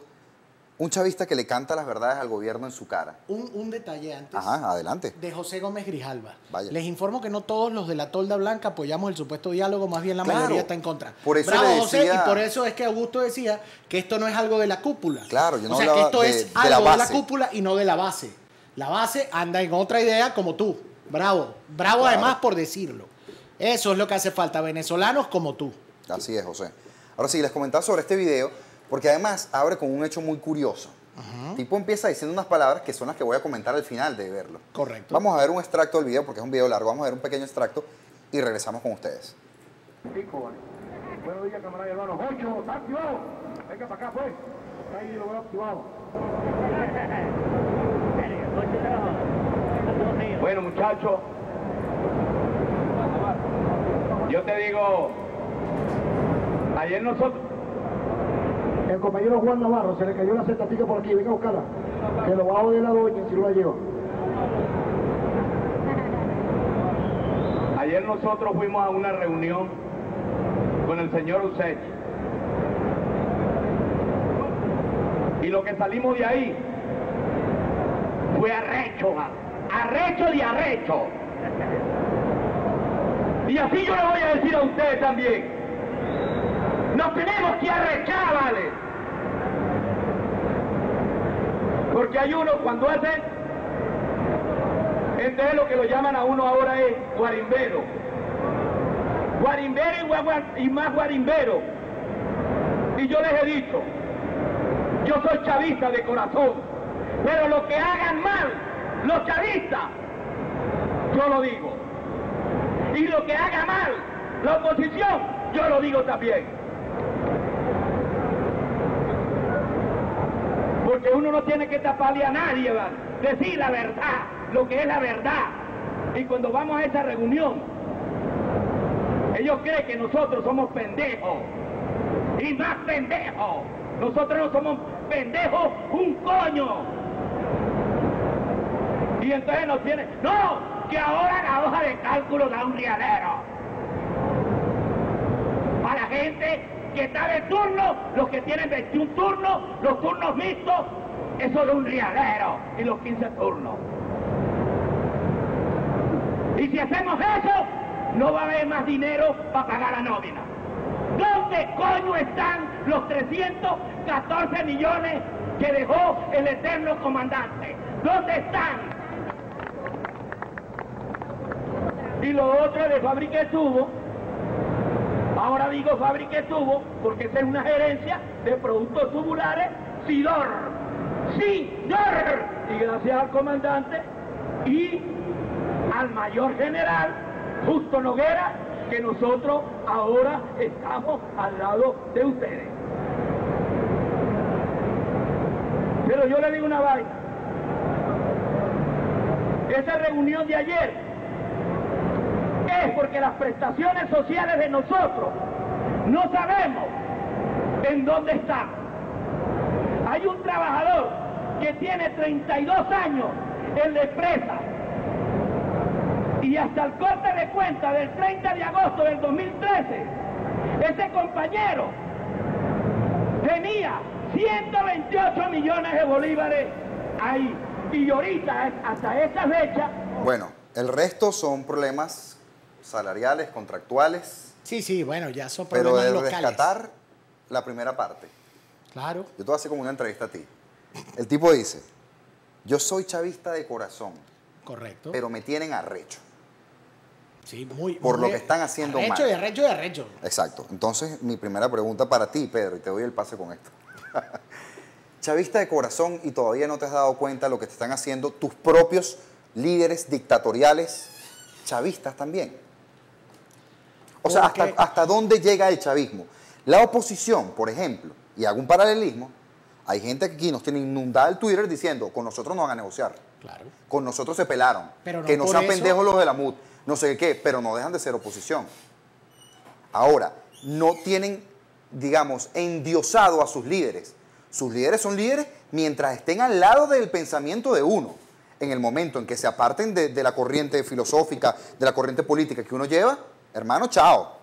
Cosa que no hacen los chavistas. Entonces el tipo arranca diciendo, yo soy chavista de corazón, pero me tienen arrecho. Que además se parece mucho a Diosdado. Parece el hermano perdido de Diosdado. Parece un hermano, el hermano más gordito.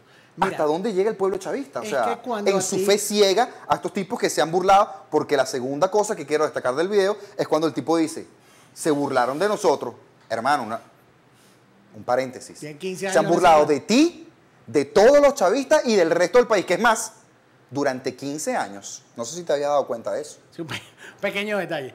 Eh, ahora, yo te voy a decir algo que tiene que ver con esa primera pregunta y es como lo veo yo.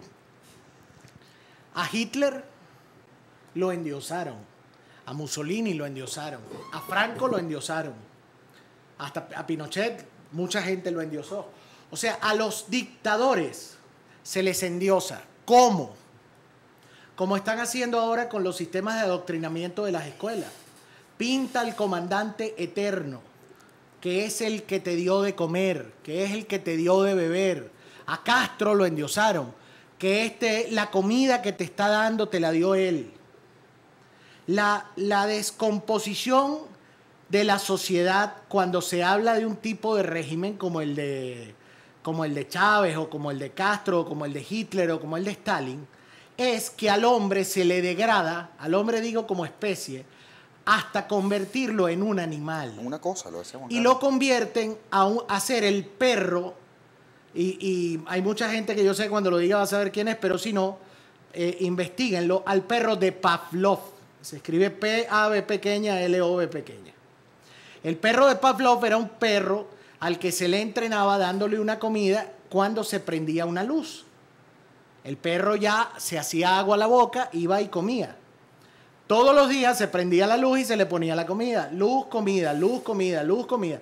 El día que se le prendió la luz y no se le puso comida, ya el perro estaba tan condicionado que se le hacía agua a la boca y no había comida. Lo que sucede con este tipo de regímenes es lo mismo. Se entrena y se adoctrina a la gente para que la comida que te lleva te la da el comandante. La bebida que te lleva te la da el comandante. Eh, la platica que te ganaste te la dio el comandante. La casa que tienes te la dio el comandante. El carrito que tienes te lo dio el comandante. Y resulta que denigran a la persona porque en realidad la comida que tienes te la ganaste por tu trabajo y por tu esfuerzo. Tu carrito, tu casa, tus cosas te lo ganaste tú, no te los dio nadie. Esa es la realidad. Te lo ganaste tú, por lo que sea, pero te lo ganaste. Entonces, tanto denigrar durante 15 años hace que la gente piense así. Al morir el, el tirano, regularmente el régimen cambia porque la gente empieza a abrir los ojos. Y eso es lo que está pasando ahorita un año después. Un año y medio, pues Chávez se murió antes, pero un año después. Que ahora la gente empieza a abrir los ojos y dice, yo soy chavista de corazón, pero estoy arrecho porque este tipo es un desastre. Y además, seguro, es chavista y no madurista, eso lo tenemos claro. No, no, claro, es que no pueden ser maduristas porque ellos han adorado a Chávez y el PSU es Chávez. Porque además ellos fueron tan torpes políticamente hablando que lo hicieron así siempre. Y ahora, ahora tienen que mantener vivo al comandante con las pendejadas que dicen en los colegios y las con cosas. con las propagandas y que con la en propaganda BTV. que salen en BTV que, y componer el himno con la voz de Chávez y, que- y patria, patria, patria querida. Y eso la gente se cansa y se acaba porque Chávez está muerto y Nicolás no es Chávez. Es peor. Porque me perdonan, pero Chávez fue malo. Este es peor. Por cierto, Diego, ¿me ves en el IBGA? Que lo actives. Ah, muy bien. Bien, no, es eh, para poner una foto que nos enviaron. Y yo quería prepararle otro video que ya se lo pedí a Gio, vamos a esperar que me lo, que me lo tenga a tiro. Eh, muchísimas gracias por todas las respuestas, he estado retuiteándolo a todos, casi, eh, mejor dicho, nunca llego a finalizar el programa a la Así par es. con los mensajes, siempre voy rezagado, nunca dejo de contestarlos, de darle favorito a los que me gustan, de al menos leerlos todos y cada uno de ellos, porque sencillamente, como les decía al principio, esta es su voz la que sale a través de este, de este programa, de este canal. No nos interesa más que ser los voceros de nuestro pueblo de Venezuela que está legítimamente en la calle protestando. Ahora, por, cierto mucha que gente... hoy, por cierto que hoy un detalle. A mis amigos de, que escuchan Tuning y Radionex, al terminar Punto de Resistencia hoy, a partir de hoy, después de Punto de Resistencia, ya hasta mañana, en la programación de mañana, van a empezar a escuchar música. Van a escuchar cuando venga...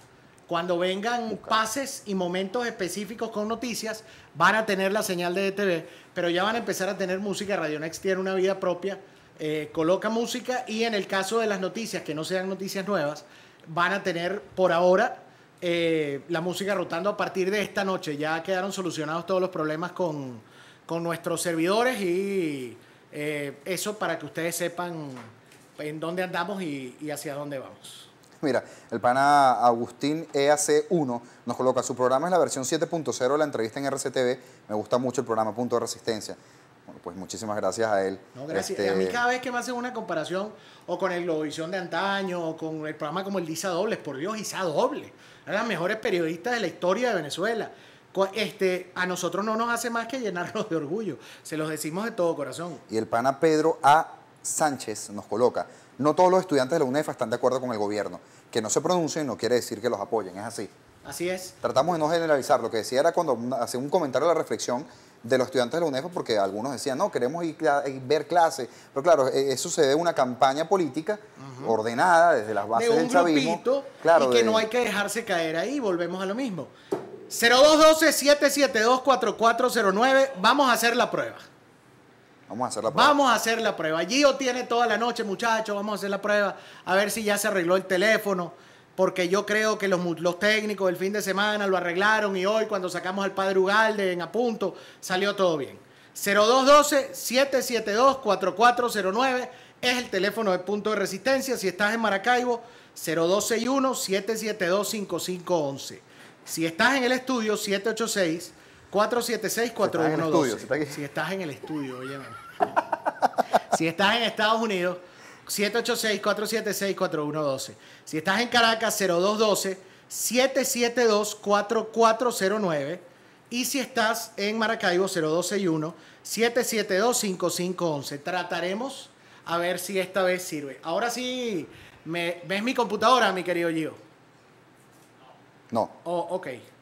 Mira, el sensei querido, Diosdado es uno de los tipos más millonarios del mundo y nunca dice nada productivo, solo dice excusas. Bueno, Diosdado es uno de los corruptos más corruptos del mundo. Eso. Está seguramente entre la lista, por lo menos, de los más ricos de América Latina, seguramente. Tranquilazo. Y algún día, algún día saldrá a la luz pública todas las fechorías que cometió este señor. Por eso es que se atornillan al poder. No se atornilla porque le interesa el pueblo, no señor. No se atornilla por la ideología socialista, no señor. No se atornilla ni siquiera por el líder supremo y el papá de ellos, porque mío no es, eh, Hugo Rafael Chávez Fría. No señor. No, señor. Se atornillan porque han cometido tantos delitos y tantas fechorías Claro.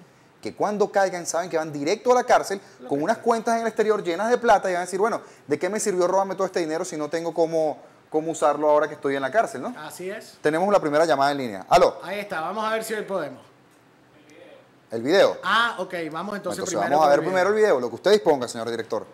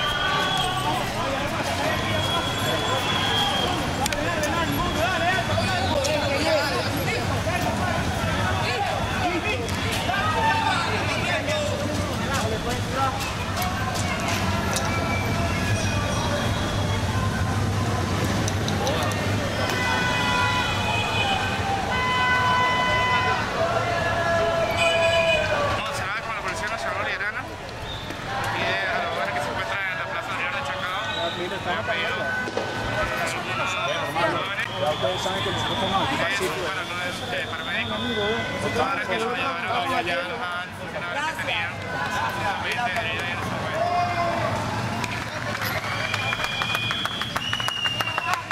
Ahí está. Que no podemos juntos, pero por supuesto que sí. Te hago una apuesta. Habla. Toda mi fortuna que está traducida en mis oyentes. Esa es mi mayor fortuna. que a que jamás en la vida pasarán este video en, el- en algún canal del Estado. No, no, bueno, seguro. Ni en Venevisión, ni en los canales. Alguien me acaba de poner, así estará Venezuela, que el programa más serio de la televisión venezolana es el de Luis Chatén. Caramba. No, no, es verdad. Es una maravillosa reflexión. Muy por encima del hecho de que Luis sea un genio. Feliz cumpleaños, Luis Chatén. Dentro de cuatro minutos. Correcto. Me está reservando. Ah, claro, es a las dos y media desde Mayamero, sí es, es feliz cumpleaños. Donald Mustaine, todos los días full resistencia con nosotros, así es. Y eh, les voy a decir una cosa que a mí se me había olvidado. Yo hoy he visto uno de los actos de asesinato, voy a decir una palabra que no sé si existe, ingenierístico o uno de los más torpes actos de ingeniería que he visto en mi vida. Son 45 que tengo. Y Miguel Cochola, hoy, en el Trigal en Valencia, ha asfaltado los huecos de las alcantarillas. Los tapó. Los tapó yo no lo puedo creer todavía. Los tapó porque supuestamente no estaban las rejillas. Los tapó porque cuando lleguen las rejillas él los va a destapar. Eso de entrada tiene dos lecturas. La primera es un guiso. Ya. Mire, y no lo llame de otra manera. La primera es un guiso. Porque ¿quién paga la tapa y quién paga la destapa? ¿Quién, quién destapa ese concreto que vaciaron ahí? Y ese asfalto que vaciaron ahí. No, yo quiero que a mí me echen ese cuento. Segundo, ¿cuánto se van a tardar en recuperar el espacio? ¿Qué pasa si mañana cae un palo de agua? Yo quiero que él me explique qué pasa si a las 12 de la noche ahorita empieza a caer un palo de agua. De esos sabrosos que caen en el centro del país. Primero, no se puede ser tan ignorante para hacer lo que él hizo. Segundo, no se puede ser tan servil con el gobierno para hacer lo que él hizo, tan genuflexo.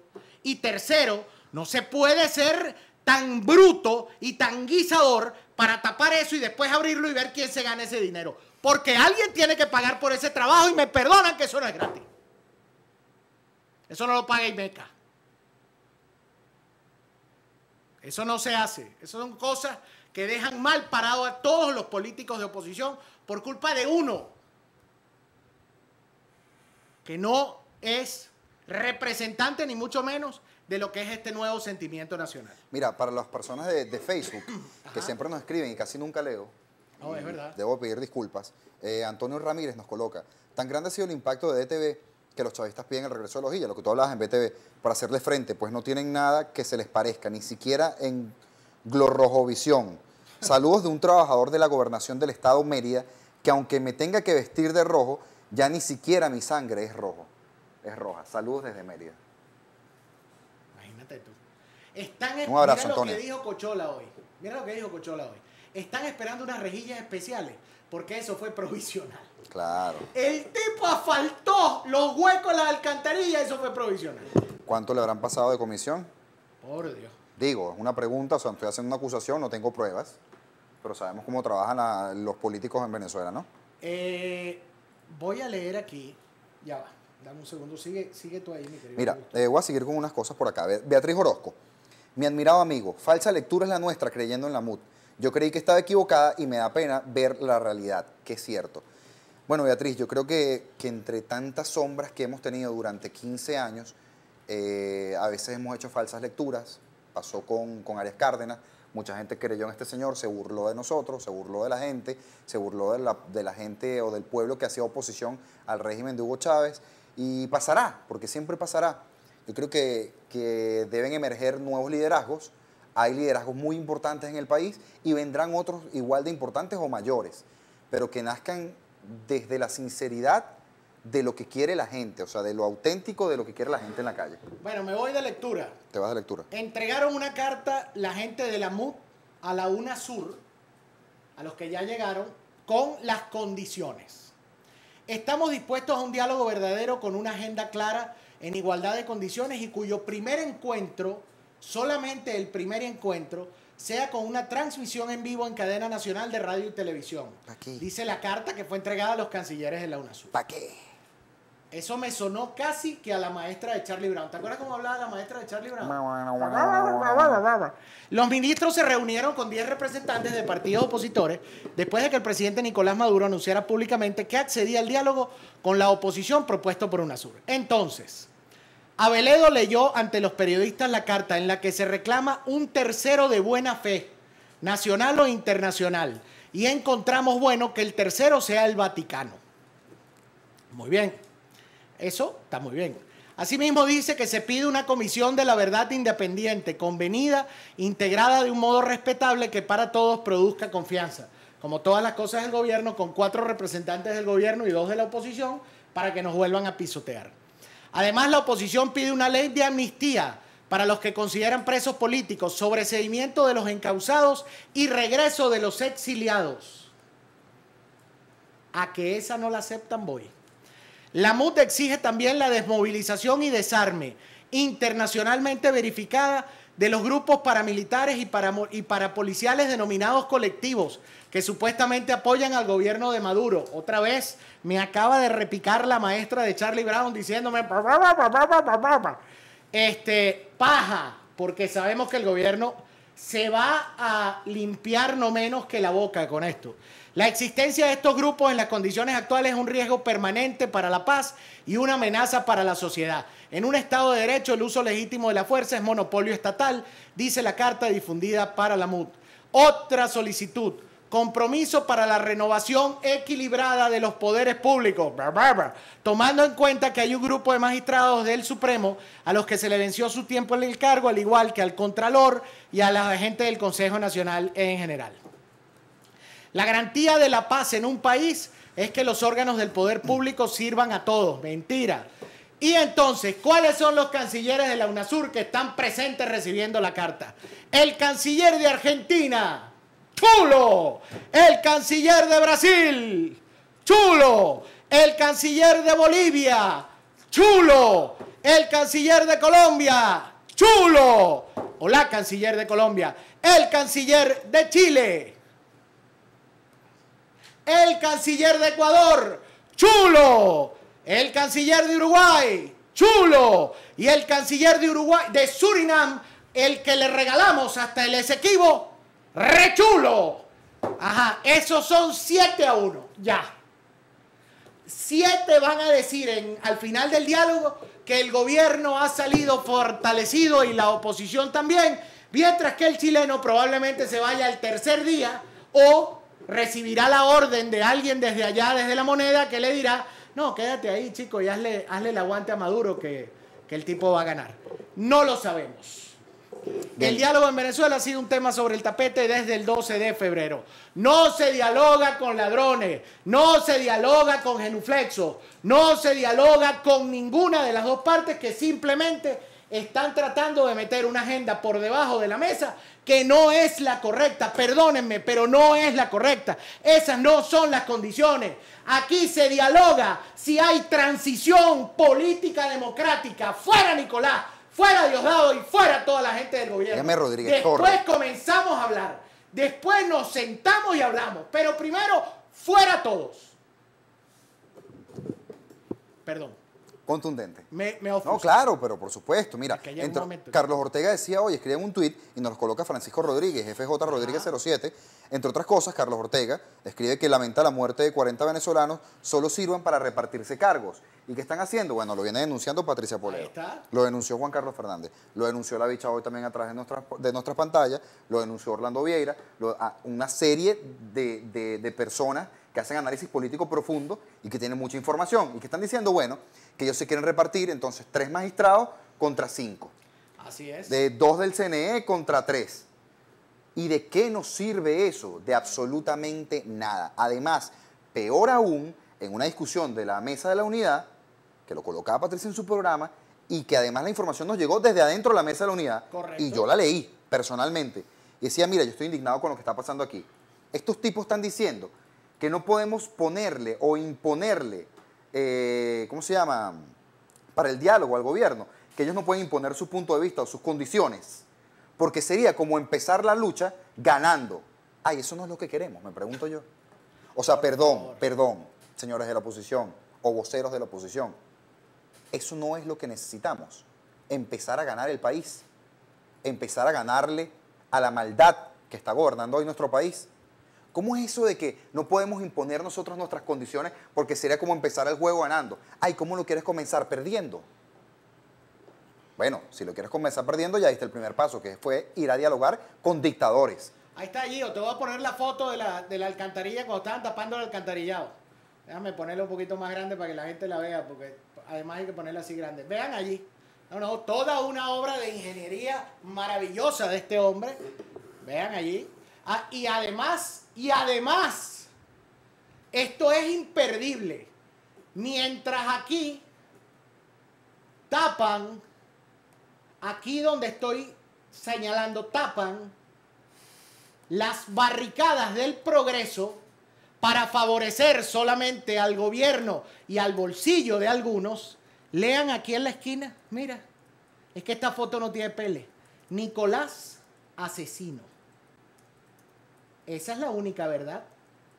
Es la verdad es la, el asfaltado o el mural. Yo creo que es el mural, no el asfaltado. Creo que el asfaltado lo que hace es taparear y el mural sí dice la verdad. Ah, mira, qué buena, qué buena sugerencia. Nos coloca acá BY Griders ORG. Ok. Saben, deberían activar el chat que está incluido en el paquete de live stream. Así cuando se caiga, sigue el contacto. Muy Me parece muy bien y lo vamos a hacer mañana. Eh, nos los coloca también desde otra página también, desde CTM Breaking News. Eh, buena sugerencia, lo vamos a hacer. También nos colocaban por acá, fíjate. Alguien me pregunta si las guarimbas benefician al gobierno y ¿por qué no la televisan? Claro, si no son tan buenas, ¿por qué entonces prohibieron que Últimas Noticias publicara un, un reportaje a dos páginas de la Guarimba que significó la salida de, de un grupo de periodistas de ese reconocido medio? Ah, Bien. ah. Bueno. Oh, mensaje grande. ¿Qué será? No, es que dicen, bueno, de ser el mal, ¿qué rayos te pasa, pedazo de tanta tontería criticando de TV? ¿Para qué la ves? Lo mismo pienso yo, o sea.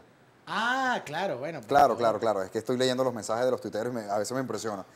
Con la Mira. bajada de la jornada laboral a 40 horas sin necesidad de que, o sin derecho a que la gente trabaje más, se baja la producción de Venezuela, sí es Mira, cierto. tú- yo te voy a echar un cuento, ahora que estás hablando de la jornada de trabajo, Ajá. de una producción, y en verdad no voy a mencionar de qué medio, porque no, no sé a quién pueda, ¿sabes?, hacerle un daño colateral. Eh, yo soy productor de novelas acá en Estados Unidos también, de dramáticos, series, etc. Hay una coproducción que estamos haciendo entre Venezuela y Miami. Ajá. Esta coproducción que estamos haciendo, donde conocí a muchísima gente increíble además, eh, está destinada a grabarse en seis meses. Una serie de muy alta factura, que además es una serie comparable con cualquier canal de HBO o cualquier canal de estos duros que se gastan un buen billete en producciones. En el caso de nosotros no se gastaron un buen billete, pero tenían una buena opción, una buena visión de cómo hacer la serie más cine y menos televisión. Yo recuerdo que cuando me contratan para dirigir, para, para bueno, dirigí también algunos, algunos episodios, gracias a Dios, afortunadamente gracias a un director español que confió en mí, dirigí algunos capítulos, pero eh, cuando estaba produciendo esta serie, el, te- el tema fue el siguiente. Llevaban 10 meses en Venezuela grabando la serie. Ok. O sea, ellos decían, no, la producción entera iban a ser cuatro meses Venezuela, dos meses Miami. Llevaban 10 meses en Venezuela grabando. Y no iban por el 60% de lo que tenían que grabar. A esta serie de actores los mandan a Miami para grabar, digamos, los treinta y tantos capítulos, que era el equivalente que íbamos a grabar acá. Y además para que el descontento, me imagino, baje, ¿no? Exactamente, y para que el descontento bajara. Y en las conversaciones ellos venían muy reactivos, o sea, venían muy a la defensiva. Claro. Y nosotros, bueno, ajá, y cuando comenzamos a hablar con ellos, y había gente, mira, Haroldo Betancourt, por ejemplo, estaba en la serie, Iván Tamayo, por ejemplo, Ajá. grandísimos actores eh, venezolanos. Entonces empezamos a conversar y digo, bueno, pero ¿qué pasaba en Venezuela? O sea, ¿por qué tanta demora? Y me dice, bueno, primero, la serie era mucho en exteriores. Se imaginarán ustedes el tráfico de Caracas, Claro. lo que sucedía. Segundo, con la payasada de la reducción de la jornada laboral, ¿verdad? Que fue una medida populista, porque no fue más que eso. No fue un beneficio para el trabajador, No, chico, para ni fue un beneficio para tener mejores salarios. No, fue una medida populista, de la boca para afuera, que, que se escuchara bonito, pero que en la traducción no dejara nada bueno. Los tipos del sindicato, cuando llegaba la hora 12, apagaban los equipos y se acabó la, se acabó la grabación. Estuvieras en un helicóptero grabando o en el medio del mar, porque era una serie de acción, o donde fuera, apagaban los equipos y chao, aquí no se trabaja ni un minuto más. Los técnicos y los técnicos de acá, que no eran venezolanos, decían, oye, pero esa gente está loca, ¿por qué hace eso? Porque los técnicos acá ganan overtime, ganan horas, Claro. horas extras, que se eh, calculan a 1.5 de su salario. Correcto. O sea que cuando uno le toca trabajar horas, eh, horas extras, Te, te encanta. uno dice, qué felicidad. Claro. Además no son obligadas. Y yo siempre lo recuerdo. Por ejemplo, mi jefe en Telemundo me decía, tú podrías, discúlpame que te lo pida encarecidamente, prácticamente se arrollaba, trabajar el domingo. Y yo, hermano, ¿cómo no voy a trabajar el domingo? Si me vas a pagar 2.5 por ser domingo. domingo, claro. O sea, me vas a pagar dos veces y medio el sueldo que gano normal solo por ser domingo. Así es. Pero tanto fue que pasaron 10 meses en Venezuela, luego pasaron 4 meses más. O sea, un año y tanto. Y en el medio de la grabación, los artistas tuvieron que renegociar sus contratos y por supuesto ganar el doble porque estuvieron fuera de pantalla Claro. más de un año. Entonces, esa, esa medida de la reducción de horas de trabajo, ¿qué beneficio le trajo al pueblo? Ninguno. Populista. Y además ganan menos plata, o sea, Claro. en un país donde, donde el sueldo mínimo no alcanza, como ustedes saben. Bueno, las fotos que nos mandan los, los, los tuiteros, un aguacate o el kilo de aguacate, 180 bolívares. Sí, sí, sí. 180 bolívares un kilo de aguacate. verdad es que un aguacate sincero. así, una cosita Yo tengo- así, yo te puede ya- valer 400 mil, bueno, 400 Yo bolívares. tengo ocho años que no voy a Venezuela. Yo- Uno pierde la proporción de la plata. Claro, porque tú ves que una lata de atún cuesta 125 bolívares, que eran 125 mil bolívares viejos. Y yo, cuando tuve mi primer trabajo en el diario de Caracas, ganaba 900 bolívares de aquellos. Cuando trabajé en Meridiano Televisión, en un mes bueno ganaba 700, 800 mil bolívares. Y una lata de atún cuesta 125 mil bolívares de esos. Es duro, es duro ver esas cosas. Mira, ya no nos está tocando irnos, Sí. pero eh, ya nos están haciendo señas. Pero Raúl López me ha hecho dos preguntas. Me dijo, ¿qué sabes de que a Diosdado supuestamente le dio un infarto? Eso me lo han dicho tres o cuatro personas. No hay nada confirmado, pero ni remotamente cerca y nadie ha hablado de eso. Así que la verdad, no se extrañen que sea una maniobra del G2 para desviar un rumor que sí ha tomado fuerza y es que Diosdado está organizando un golpe de Estado, eh, que él también lo pregunta. Si no deja de ser un rumor todavía, igual hay gente que lo ha confirmado, gente más o menos seria y, y gente muy seria y gente no tan seria, pero eh, algo de eso aparentemente hay. Bueno, Así que... Sí, o sea, no, no, no es descabellado pensarlo. Usted hace una reflexión personal, usted dice, bueno, ¿en verdad cree usted que Diosdado y Maduro son tan amigos? Con las ínfulas de poder de este señor y con lo que ha demostrado estas ansias de tiranía y de caudillismo que representa Diosdado Cabello, ¿cree usted que él está contento con ser el segundón en el papel? Porque en verdad es el que manda. De teterote. De teterote, además, además de ese, de ese platanote, o sea. O ayer me dijeron, dile Maguila Gorila. ¿Te acuerdas de, Marila, de Maguila Gorila? Y dije, ay, Maguila Gorila for sale. Y es verdad, Maguila Gorila hablaba como él. El tipo que le hacía la voz de, de Maguila Gorila eh, hablaba como, como Maguila Gorila. Y hasta me acordé de la canción. Le voy a contestar cuánto debe comprar. Y Maguila Gorila decía así, muy bonito, hola, qué bonito, qué bello, qué bonito, qué bello. Por cierto, volvemos a recomendar el capítulo de Isla Presidencial. Genial. Que se llama Agua Paralela. Agua paralela. Agua paralela. Este, de Venezuela me piden que coloquen la grabación del programa de hoy en YouTube porque hay gente interesada que aún no los conoce y que no los ha visto. Bien. Entonces, bueno, vamos a cumplir ese Hemos deseo. estado trabajando no pudimos montarlo. conseguir a Juan Carlos, de verdad, este, pero con, con todo el cariño del mundo lo vamos a tener pronto para todos ustedes. Mire, estoy leyendo un mensaje que nos reportan Argenis Hernández, de 26 años, manifestada en barricada en San Diego, motorizado pasó y le disparó. Y Mm. Parece veo una foto allí, sí. Vamos Eh, lo- a... O sea, lo que han dicho tres o cuatro personas, vuelvo a lo mismo, como no tenemos eh, la confirmación de gente que a- tenemos ahí en San, a en San Andrea Diego, Flores eso. en Valencia, Al tener la confirmación, por supuesto que usted se va a enterar por aquí. cuando eh, sea comprobado. Cuando sea comprobado. Bueno, mis queridos amigos, nos dice Gio que nos toca arrancar por la noche de hoy. Eh, nos vamos diciéndoles que otra vez este, en los mangos de Puerto Ordaz sigue el asunto, en Caruay, en Guayana, en Mañongo, en Valencia y en Santa Fe. En todas partes los estudiantes siguen en resistencia y nuestros corazones, nuestro cariño y nuestro respeto y nuestra fuerza seguirá estando con ustedes en todo y cada uno de esos momentos. Así que fuerza para todos. Eh, es mi consigna para la noche de hoy.